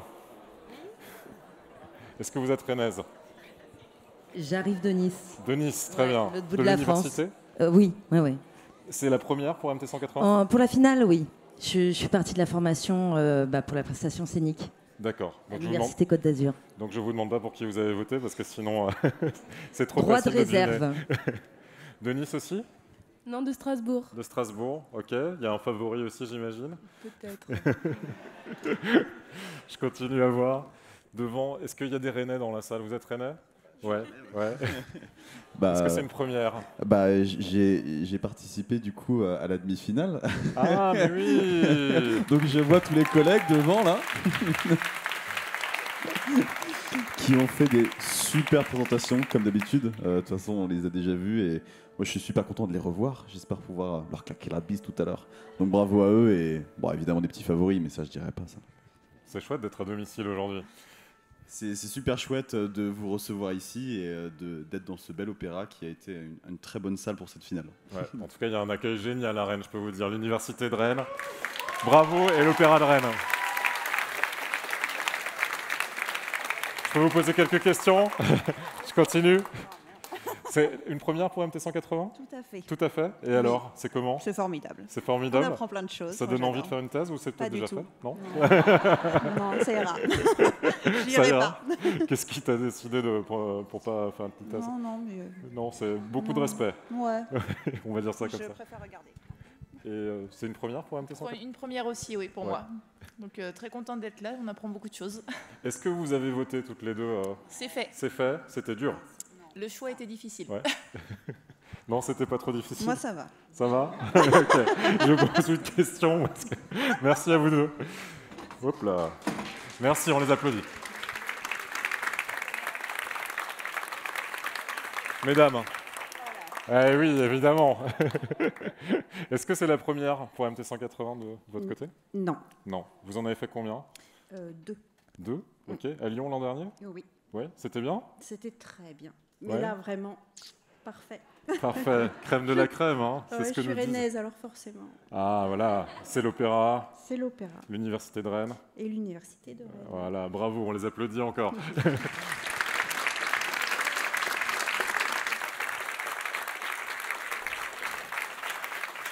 Et oui, puisque chaque année, c'est une université différente qui accueille la finale nationale de MT180. Ça y est, je vais revenir vous voir devant là. C'est difficile, hein, désolé, je te fais faire des acrobaties. Sandra, comment tu te sens Tu te retournes vers moi pour qu'on te voit depuis la Guadeloupe là sur YouTube. Il faut que tu te retournes. Qu'est-ce que tu dis à tes supporters là qui t'ont encouragé au début de, de la finale? Ben, merci beaucoup, merci infiniment. Ouais, ton fan club, il était nombreux là. on Oui, je sais. Ouais. Merci beaucoup. Vous êtes tous euh, hyper sereins là, ça y est, c'est- vous êtes soulagés, la, la tension. Ouais, je vois Camille tout de suite, elle a dit Ah, ça va mieux. Tiens, je te passe le micro. Dis-moi comment tu te sens. Je suis punie. Ouais. Euh, moi, j'ai eu la surprise de découvrir mes parents qui sont venus euh, me faire la surprise de venir Ah, me voir depuis ils sont- Besançon. Dans les loges là-haut. Bonjour aux parents de Camille. Ils arrivent d'où? De Besançon. Je me sens un peu comme dans l'école des femmes là dans De cette Besançon, dans le Doubs, en vrai. c'est- de Franche-Comté, donc c'est pas la porte à côté, donc c'est une vraie, une Génial. vraie surprise. ouais. Ah, c'est génial. Ouais. Bravo. Il y a des gens de toute la France, de Nice, de Besançon. Super, bravo. C'est toute la France qui est réunie aujourd'hui euh, pour célébrer la vulgarisation scientifique. C'est génial. Goran, t'as gardé les mêmes plans pour ce soir? Allez, c'est parti. Comment, pardon? Les- toujours les mêmes plans pour euh, fêter ce soir euh, Ah mais tout à fait, tout à fait. euh, Ouais. Tout est prévu. Tout est euh, prêt. au cas où, hein, vraiment. Voilà. Ouais, on a, on a suivi ta story, donc on est. euh, la st- ta story sur Instagram, parce qu'il y a un nouveau compte, il faut quand même qu'on vous le dise, il y a un nouveau compte Instagram de, de MT180, donc il faut le suivre, il faut le taguer ce soir dans vos stories à vous. Très bien, c'est noté. MT180 underscore France, dont tu as eu l'occasion de, que tu as eu l'occasion d'animer pendant une journée. Ah mais oui, oui, oui, tout à fait. C'était d'ailleurs euh, très ludique. Ouais. Euh, je me suis beaucoup amusé. Euh, J'espère que vous aussi, euh, en regardant les stories. Exactement. Voilà. Tu nous as rac- vous nous avez raconté tous votre vie de doctorante et de doctorant, et c'était assez chouette de vous suivre pendant une journée. Ouais, c'était trop bien, c'était c'était hyper, euh, hyper intéressant parce qu'on pouvait se plonger dans le quotidien obscur d'un doctorant. Euh, et ça, c'est quand même quelque chose qu'on n'a pas la chance de pouvoir faire tous les jours. Donc c'était vraiment bien. Et puis on a des quotidiens qui sont quand même vachement diversifiés. Oui, c'est vrai. Euh, on a pu voir euh, non seulement le quotidien de recherche scientifique euh, au cœur de, de la discipline du doctorat, mais le reste aussi. Alors, je sais pas ce qui se passe. Il y a un fan club derrière toi. Le fan club de Tatiana qui, euh, Tatiana, qui profite de la caméra pointée sur toi.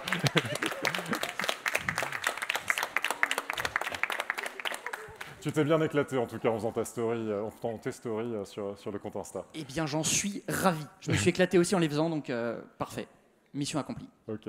Tu peux passer euh, peut-être le micro à Robin à côté de toi. Robin, toi, tu as Robin, le, compte, le bâton de pain. Le compte. Instagram aussi? Euh, moi, je suis passé par Twitter, mais je suis un parfait novice aux deux plateformes. Alors, je me suis dit que j'allais prendre Twitter, ça m'était moins euh, obscur comme fonctionnement. euh, C'était un peu moins, euh, un peu moins flippant de prendre le- la main là-dessus. Mais très cool, très très cool. Mais il va falloir, si vous voulez faire de la vulgarisation scientifique, il n'y a pas le choix, les, les réseaux sociaux, il va falloir vous y faire. hein. Ouais, ouais, c'est vrai, il faut que je m'y fasse, mais je, je, je suis, j'ai pas le talent de Goran. Franchement, j'ai été plié en voyant sa, sa story. J'ai vu euh, déjà, j'ai vu ses talents d'organisateur de, story Instagram et son quotidien. J'ai dit, waouh, je sais pas faire des stories comme ça. Et en plus, j'ai pas son niveau sportif, donc je sais pas de quoi je vais parler.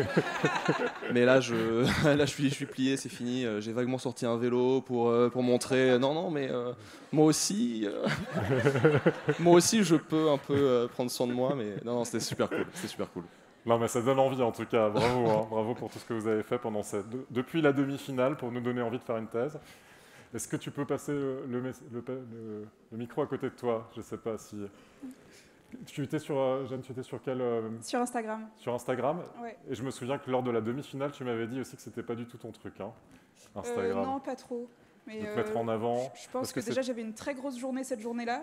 Ouais. Et j'ai dû passer 11 heures au labo parce que ça prend vraiment du temps à faire des stories. et voilà, je me moquerai plus jamais des influenceurs. Bravo. Et Robin, toi, tu étais sur. euh, C'est Naïm. Euh, pardon, euh, Ah non, moi j'ai j'ai rien fait. T'as rien fait Non, on m'a proposé, mais euh, comme je venais de finir de rédiger ma thèse, euh, présenter les vacances d'un doctorant, ça avait quand même un intérêt Ah ouais. assez euh, relatif, disons. Bah, T'as vu Marie-Charlotte euh, Voilà. Très bien. Mathieu, toi, t'étais sur quel, euh, quel réseau? Ah oui, vous allez tous y passer. On y passe sûr. tous, ouais. Euh, moi, j'étais sur Twitter. Sur Twitter. C'était facile de trouver le temps dans ta journée? Et euh, on pense, on se prépare avant, euh, les idées qu'on va dire, on dit oui, je vais juste publier ça dans la journée, et puis en fait, ça nous prend toute la journée, euh, globalement. Mais, euh, mais c'est marrant, ça permet de parler vraiment, de- d'expliquer son, encore son sujet, mais euh, on a un peu plus de temps que trois minutes. Il y, a, il y a un truc qu'on n'a pas vu dans vos stories et dans vos, vos tweets, c'est qu'il y a eu, puisque ça s'est passé depuis la demi-finale, mais il y a eu toute une formation au début de l'aventure MT180. J'aimerais bien que vous nous en disiez un mot aussi de cette formation pour, euh, pour en arriver là. Je vois que Arthur, tout de suite, tu hoches de la tête en disant oui, oui, c'était super important. Euh, bah ouais ouais super important parce que enfin en tout cas moi personnellement je vois par rapport à ce que mes trois minutes que avec lesquelles je suis arrivé disons à la formation et, et celles que j'ai présentées ce soir il y a il y a un monde de différence quoi. Donc euh, ouais euh, très très gros travail de la part de nos formateurs. En plus c'était ultra bienveillant. On a rencontré plein d'autres doctorants chouettes. Donc euh, super utile et super agréable euh, comme moment. Vous allez garder ce, ce bagage tout au long de votre carrière? J'espère on verra Ouais. j'espère ouais Ah, J'espère, on en a besoin, Émilie et moi, en tant que journalistes scientifiques, on a besoin de chercheurs et de chercheuses comme vous euh, pour, euh, pour parler de la science et donner envie de science. Bravo à vous, en tout cas. Merci. Voilà. Bravo, on les applaudit encore, nos sciences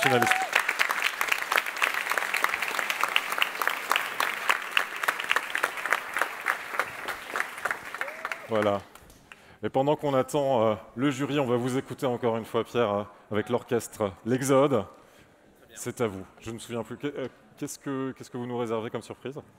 La cinquième danse hongroise de Brahms. Peut-être que certains la connaissent déjà, j'en doute pas. Vous la connaissez tous en vérité. Bon, on vous laisse alors. Merci beaucoup. L'Exode.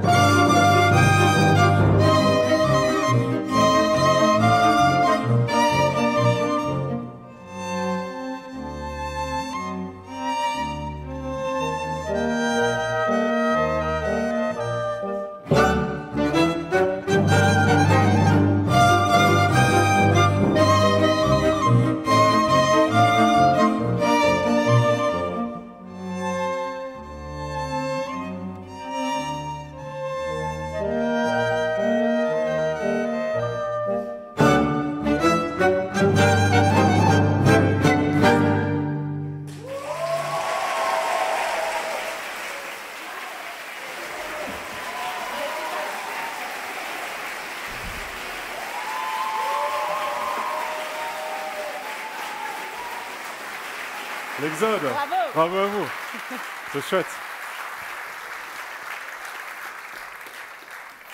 On avait une petite question quand même à vous poser. Ah. Vous qui avez regardé les performances depuis. c'est- pas commun quand même comme position pour regarder les performances. Depuis derrière. Donc en fait, ouais, depuis derrière. Et vous avez vu en fait le chrono et les performances. C'était comment? Je veux le micro. eh ben, écoutez, euh, c'était super. J'ai appris beaucoup de choses ce soir, donc merci à vous. Parce que nous, on a fait de la musique, mais moi, j'ai pu aussi beaucoup m'instruire. euh, et j'ai pas tout, tout compris. Parce qu'il fallait que je reste concentré, vous savez. Voilà, je devais gérer les entrées, tout ça. Mais, euh, mais euh, j'avoue, j'ai une petite préférence, mais je vous la Ah. dirai après. N'influencez pas le jury. On en qui- reparlera. Merci Pierre. Merci beaucoup Pierre. Merci à vous tous. On l'applaudit. On applaudit On applaudit l'orchestre.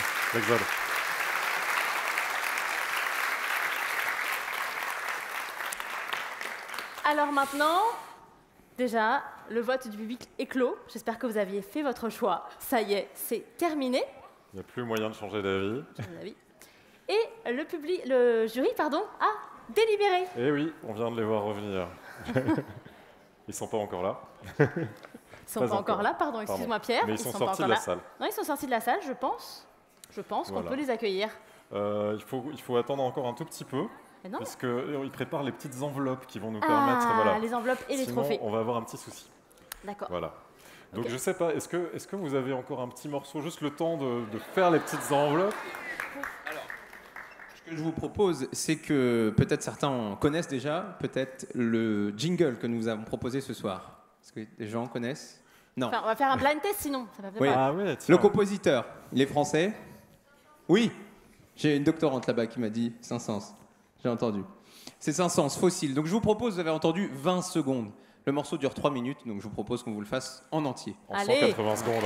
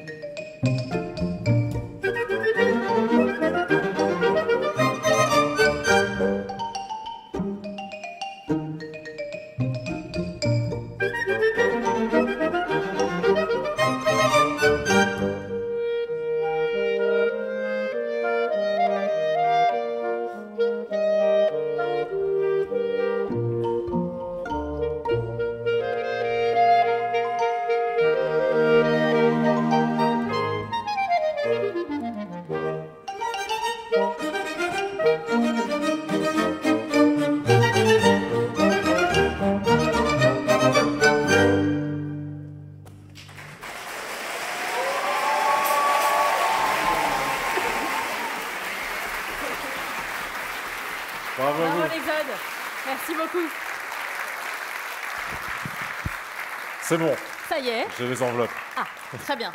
Et donc, on peut bien. maintenant accueillir Le jury. le jury, six membres du jury. C'est parti, venez sur scène, s'il vous plaît. Revenez nous rejoindre.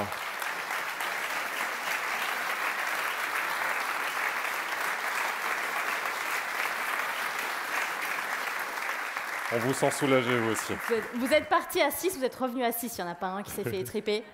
Ok, tout va bien. Euh, comment ça va? Une question peut-être pour, euh, pour vous, Bruno. Vous êtes donc euh, chef de la rédaction de Ouest France à Rennes. Votre, euh, votre quotidien, c'est les mots, la hiérarchie de l'information. Qu'est-ce que vous avez pensé des performances des candidats sur ce côté-là, l'écriture, et est-ce que ça a été votre critère principal de choix? Non, ça n'a pas été le critère principal, mais en tous les cas, je voulais toutes et tous vous féliciter parce que vous aviez vraiment un niveau excellent ce soir. Vous nous avez donné du fil à retordre. Ouais. On a eu euh, bien du mal à vous départager, euh, très honnêtement. Et non, c'est bluffant, c'est vraiment bluffant. C'est-à-dire qu'ils nous embarquent tous, en fait. hein. Enfin, je pense que c'est partagé dans la salle. Absolument.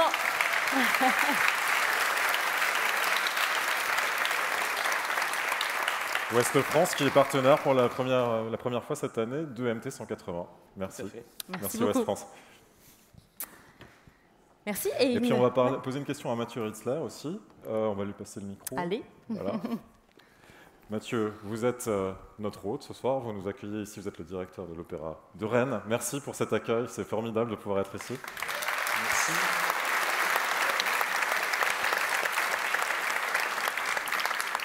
Qu'est-ce que ça vous fait de voir des scientifiques ici qui s'emparent un peu des codes? Je trouve ça passionnant parce que l'une des joies de notre métier, c'est de faire découvrir l'opéra à des personnes qui ne le connaissent pas. Et moi, je ne connaissais rien à ce que vous avez raconté. et j'ai pris beaucoup de plaisir à découvrir tout ça. Donc euh, voilà, je trouve ça absolument passionnant et je vous remercie toutes et tous. Merci on va beaucoup. la parole à... On va, on va. J'aimerais bien qu'on donne la parole à toi, lycéenne. Que toi, comment, tu as, comment tu as vécu le concours et est-ce que ça t'a... Est-ce que ça t'a motivé? Est-ce que ça t'a donné envie de faire de la recherche, par exemple? Euh, bah, c'est vrai que c'est très impressionnant de les entendre euh, tous euh, dire euh, sur quoi ils travaillent. Et bah, en fait, je me rendais pas compte avant qu'il y avait au, autant de recherche, autant de travail derrière. Enfin, je vois l'image qu'on voit dans les films d'un chercheur, euh, etc. Et c'est vrai que les voir là, bah, ils deviennent un peu moins impressionnants. Et euh, C'est bien. C'est exactement le but C'est exactement le but de MT180. C'est Voilà. vrai. Ivan, tu vas rester avec nous parce que tu vas remettre le prix du public dans quelques instants, mais on va d'abord demander À Antoine au Petit. à Antoine Petit, président du CNRS, et à Guillaume Gelé, président de France Université, de nous rejoindre pour dire un petit mot. On vous invite, Merci beaucoup à- à les autres membres du jury, vous pouvez aller prendre Ivan, euh, votre rester place, et Ivan, tu restes avec nous. Pardon. Allez-y.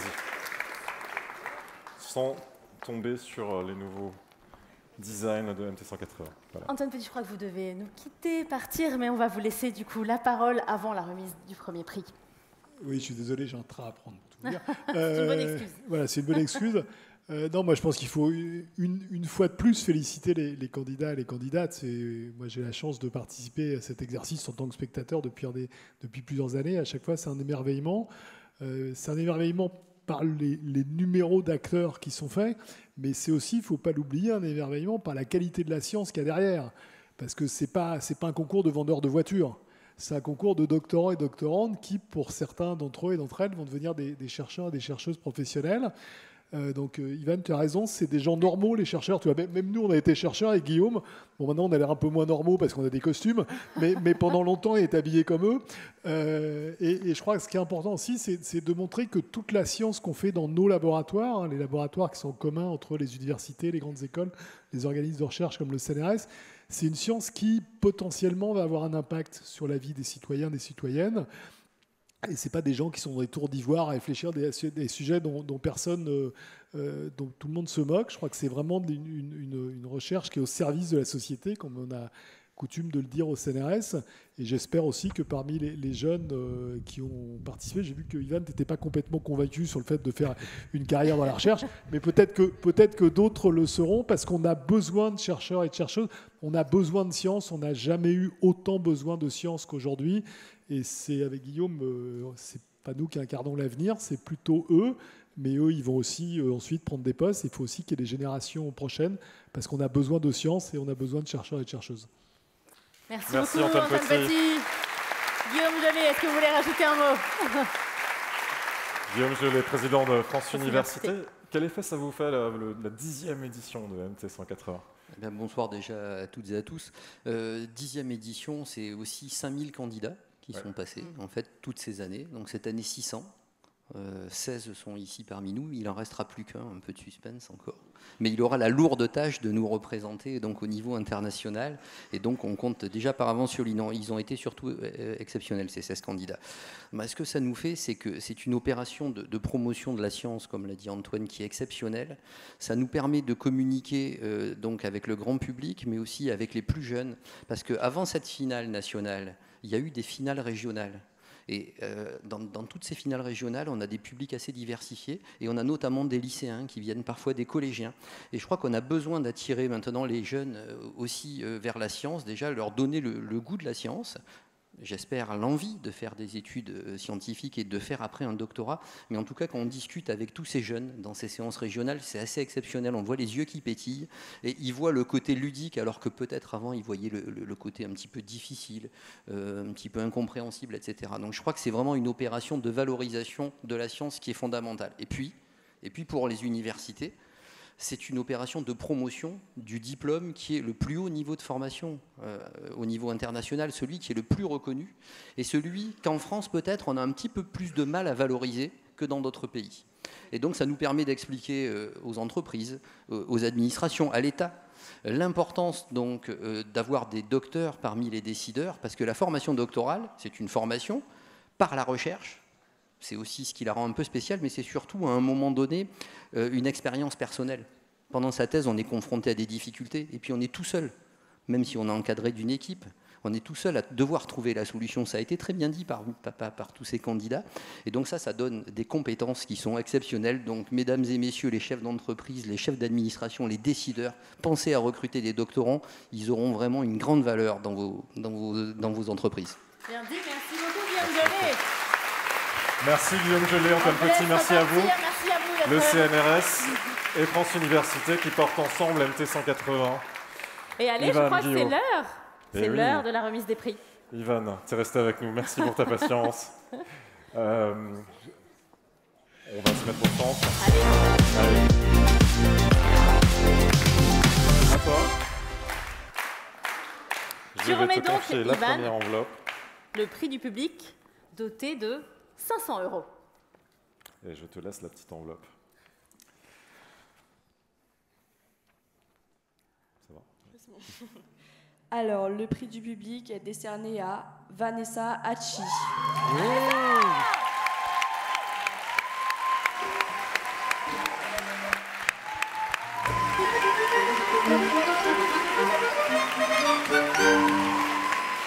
Bravo Vanessa. Bravo Ça veut- Ivan, reste là, reste là. Ivan, reste avec nous. Reste avec nous, Ivan. Est-ce que tu as un petit mot peut-être? Ben, du coup, c'est le vote du public, hein, ce qui veut dire que c'est le public qui a voté pour moi. Oui. Peut-être pas tout le monde, mais en tout cas, je remercie vraiment le public, peut-être que je connais pas, qui a voté pour moi, mes amis, ma famille et euh, toutes les personnes qui ont voté pour moi. On applaudit Vanessa. Merci beaucoup. Ça, venez au centre un petit peu pour, euh, pour la photo. Ivan, tu viens euh, avec nous pour la photo. Tu regardes par là.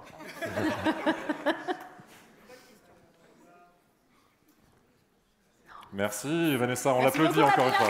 Vanessa. Vanessa Hachi de l'Université des Antilles.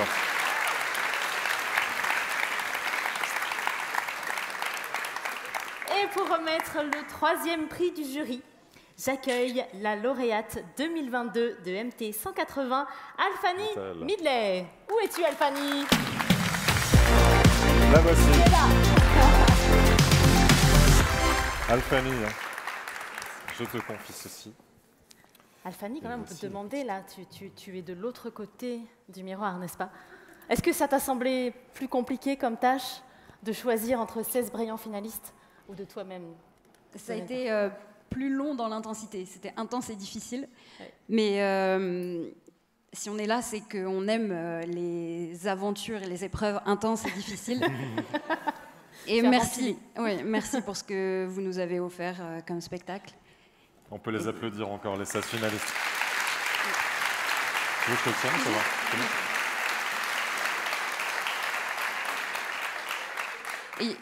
Il y a une phrase qui a résonné en moi euh, pendant la soirée. C'est euh, c'est une phrase de Marie Curie. euh, Dans la vie, rien n'est à craindre, tout est à comprendre. Et euh, je trouve que ça résume bien la soirée puisque vous nous avez donné plein de choses à comprendre, ou vous nous avez donné envie de comprendre votre métier, la recherche, la méthode scientifique. Et je crois qu'on en a vraiment besoin pour qu'il y ait plus de confiance en la science. Et puis, par rapport à l'expérience personnelle que vous avez vécue, si je peux le ramener à mon expérience, la, la prise de parole en public est souvent crainte et avec MT180, on apprend à comprendre les mécanismes de notre corps et de notre cerveau qui se mettent en place. Et euh, une fois qu'on a compris tout ça, il n'y a plus rien à craindre. Super, tu vas donner super conférence partout monde. Merci beaucoup, Alfani. Allez, on ouvre l'enveloppe.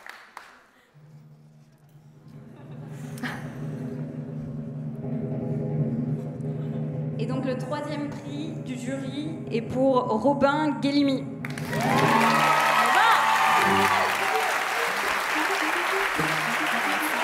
On l'applaudit. Bravo Robin. Bravo, prix. Pass- Passation de couronne. Un petit message.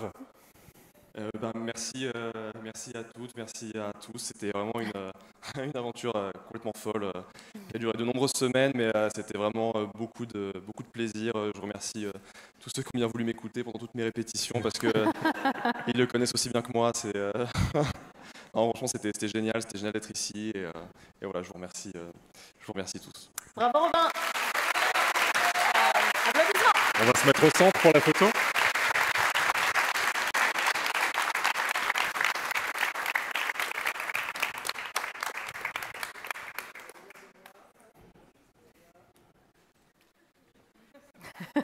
Bravo Robin, c'était méta bien. Merci beaucoup merci Robin. Et nous appelons maintenant le président de l'Université de Rennes, David Alice, à nous rejoindre. Bienvenue.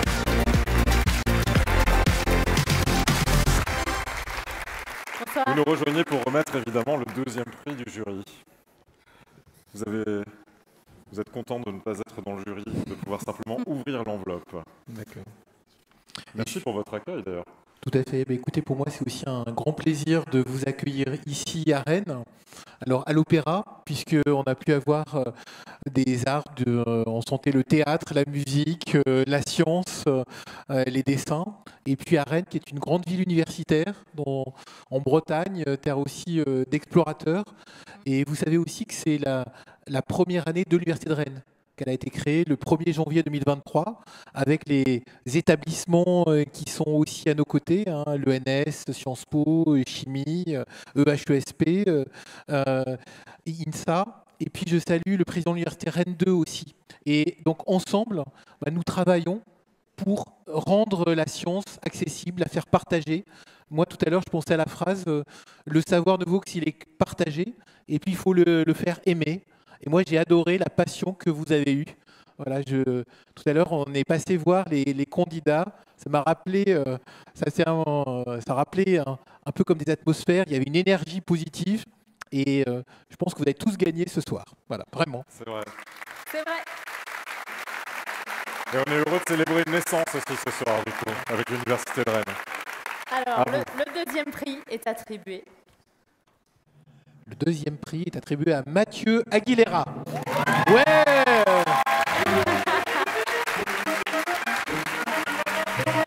Bravo Mathieu. Mathieu Aguilera de l'Université de Strasbourg.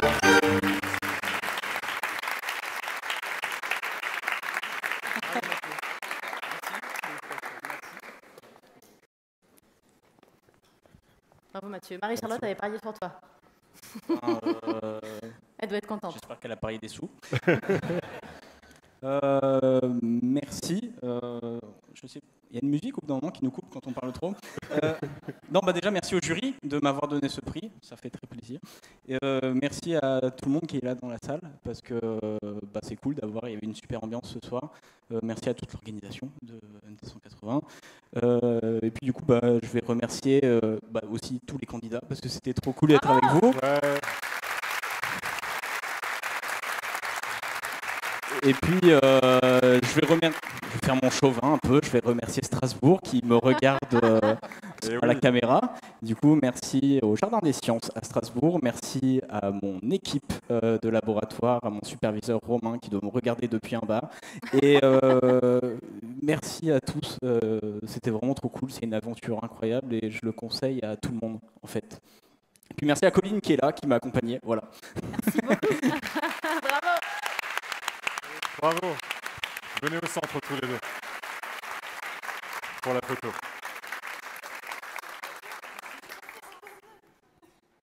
Ah oui, bien vu. Merci beaucoup. Merci Lucie.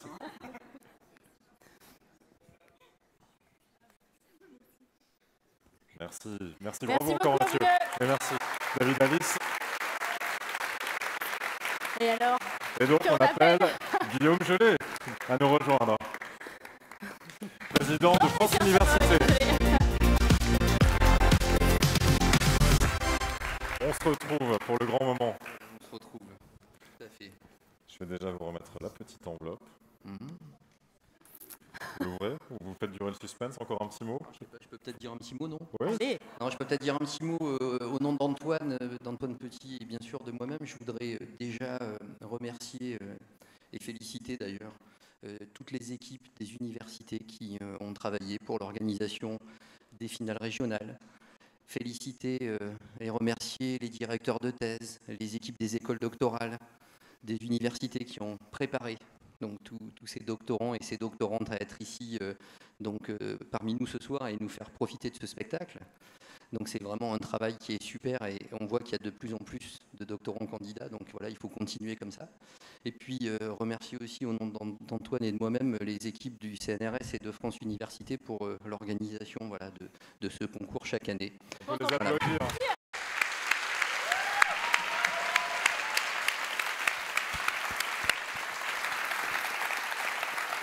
Voilà, je pense Allez. que du coup j'ai fait durer quand même pas mal le suspense. bon, on y va. Insoutenable. Euh, donc insoutenable. Et donc euh, le premier prix du jury est attribué à Camille Lacliffi.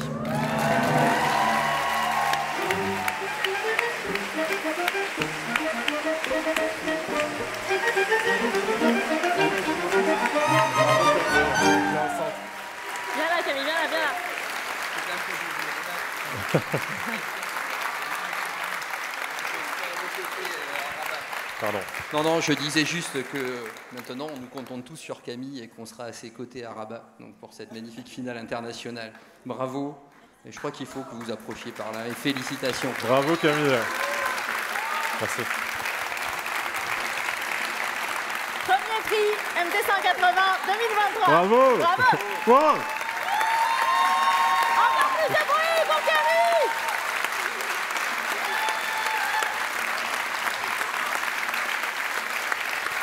Un petit mot? Ah. Euh, oui, juste un petit mot pour remercier encore, toujours le même, et mon directeur de thèse qui m'a permis de dérouler ma thèse euh, en étant bien, en étant épanouie, qui a veillé à mon bien-être pendant trois ans. Et ça, c'est vraiment en plus évidemment de m'encadrer et de me permettre de faire de la science super chouette et intéressante. Et vraiment, c'est primordial. Donc merci à lui. Et merci au groupe Kiasma et au Kogi pour tout le soutien. Et à mes parents pour cette surprise merveilleuse. Ah, Vous avez bien fait de venir depuis Besançon.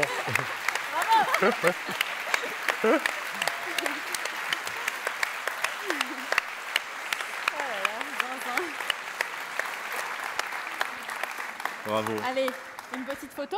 On fait une petite photo. C'est par ici.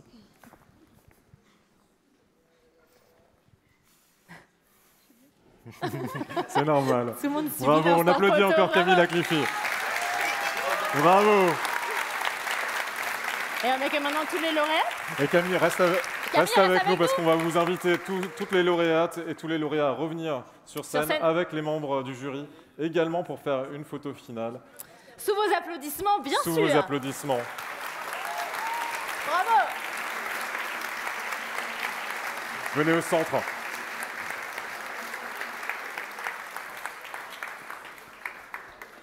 Camille Lacliffi, Vanessa Hachi, Mathieu Aguilera, Robin Guélimi et les membres du jury.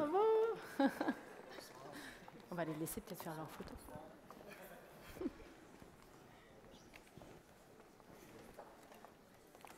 Vous nous faites quelques notes pour célébrer ce moment festif, peut-être?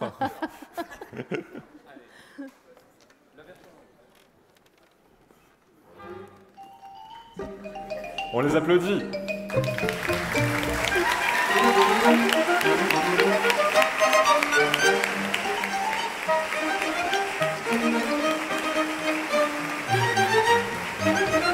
en 180 secondes, un concours organisé par France Université et le CNRS. Et cette finale 2023 est organisée par l'Université de Rennes qu'on remercie et qu'on félicite pour sa naissance. Merci à vous, David Ellis. En partenariat avec la ville de Rennes, la métropole de Rennes et Ouest France, qui nous accompagnent pour la première fois cette année, et, Et- avec la CASDEN, la MAIF et la MGEN.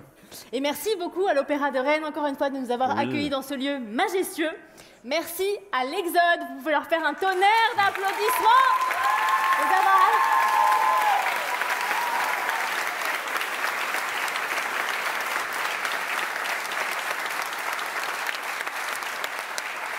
Merci aussi, aux équipes techniques de l'Opéra, à l'agence spectaculaire et à Créa. Et merci à vous. Vous avez été super. Oui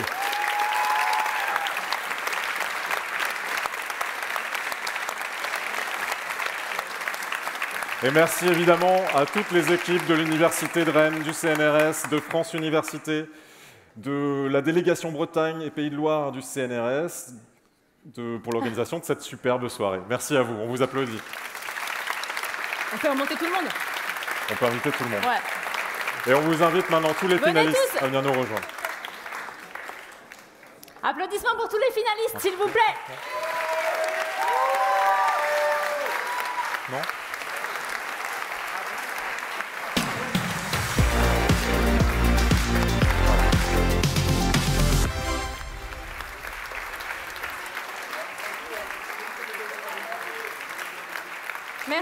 Merci à tous les finalistes, à tous les candidats. Et merci à vous encore dans le public, ici à Rennes et en ligne sur YouTube. Et à l'année prochaine. Et à l'année prochaine. Voilà. Bravo à tous.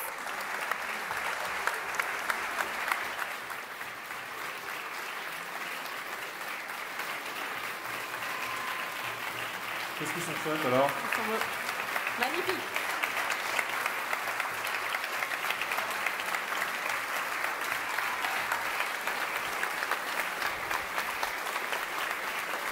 Un autre Un dernier Pour finir N'importe. Non. Vous avez tout joué. Non, non, mais après, euh, pour finir, un même Ouais, le premier, absolument. Ça vous va Ah non, ok, ok. Ok, ok. Ok, ok. C'était tellement génial que je...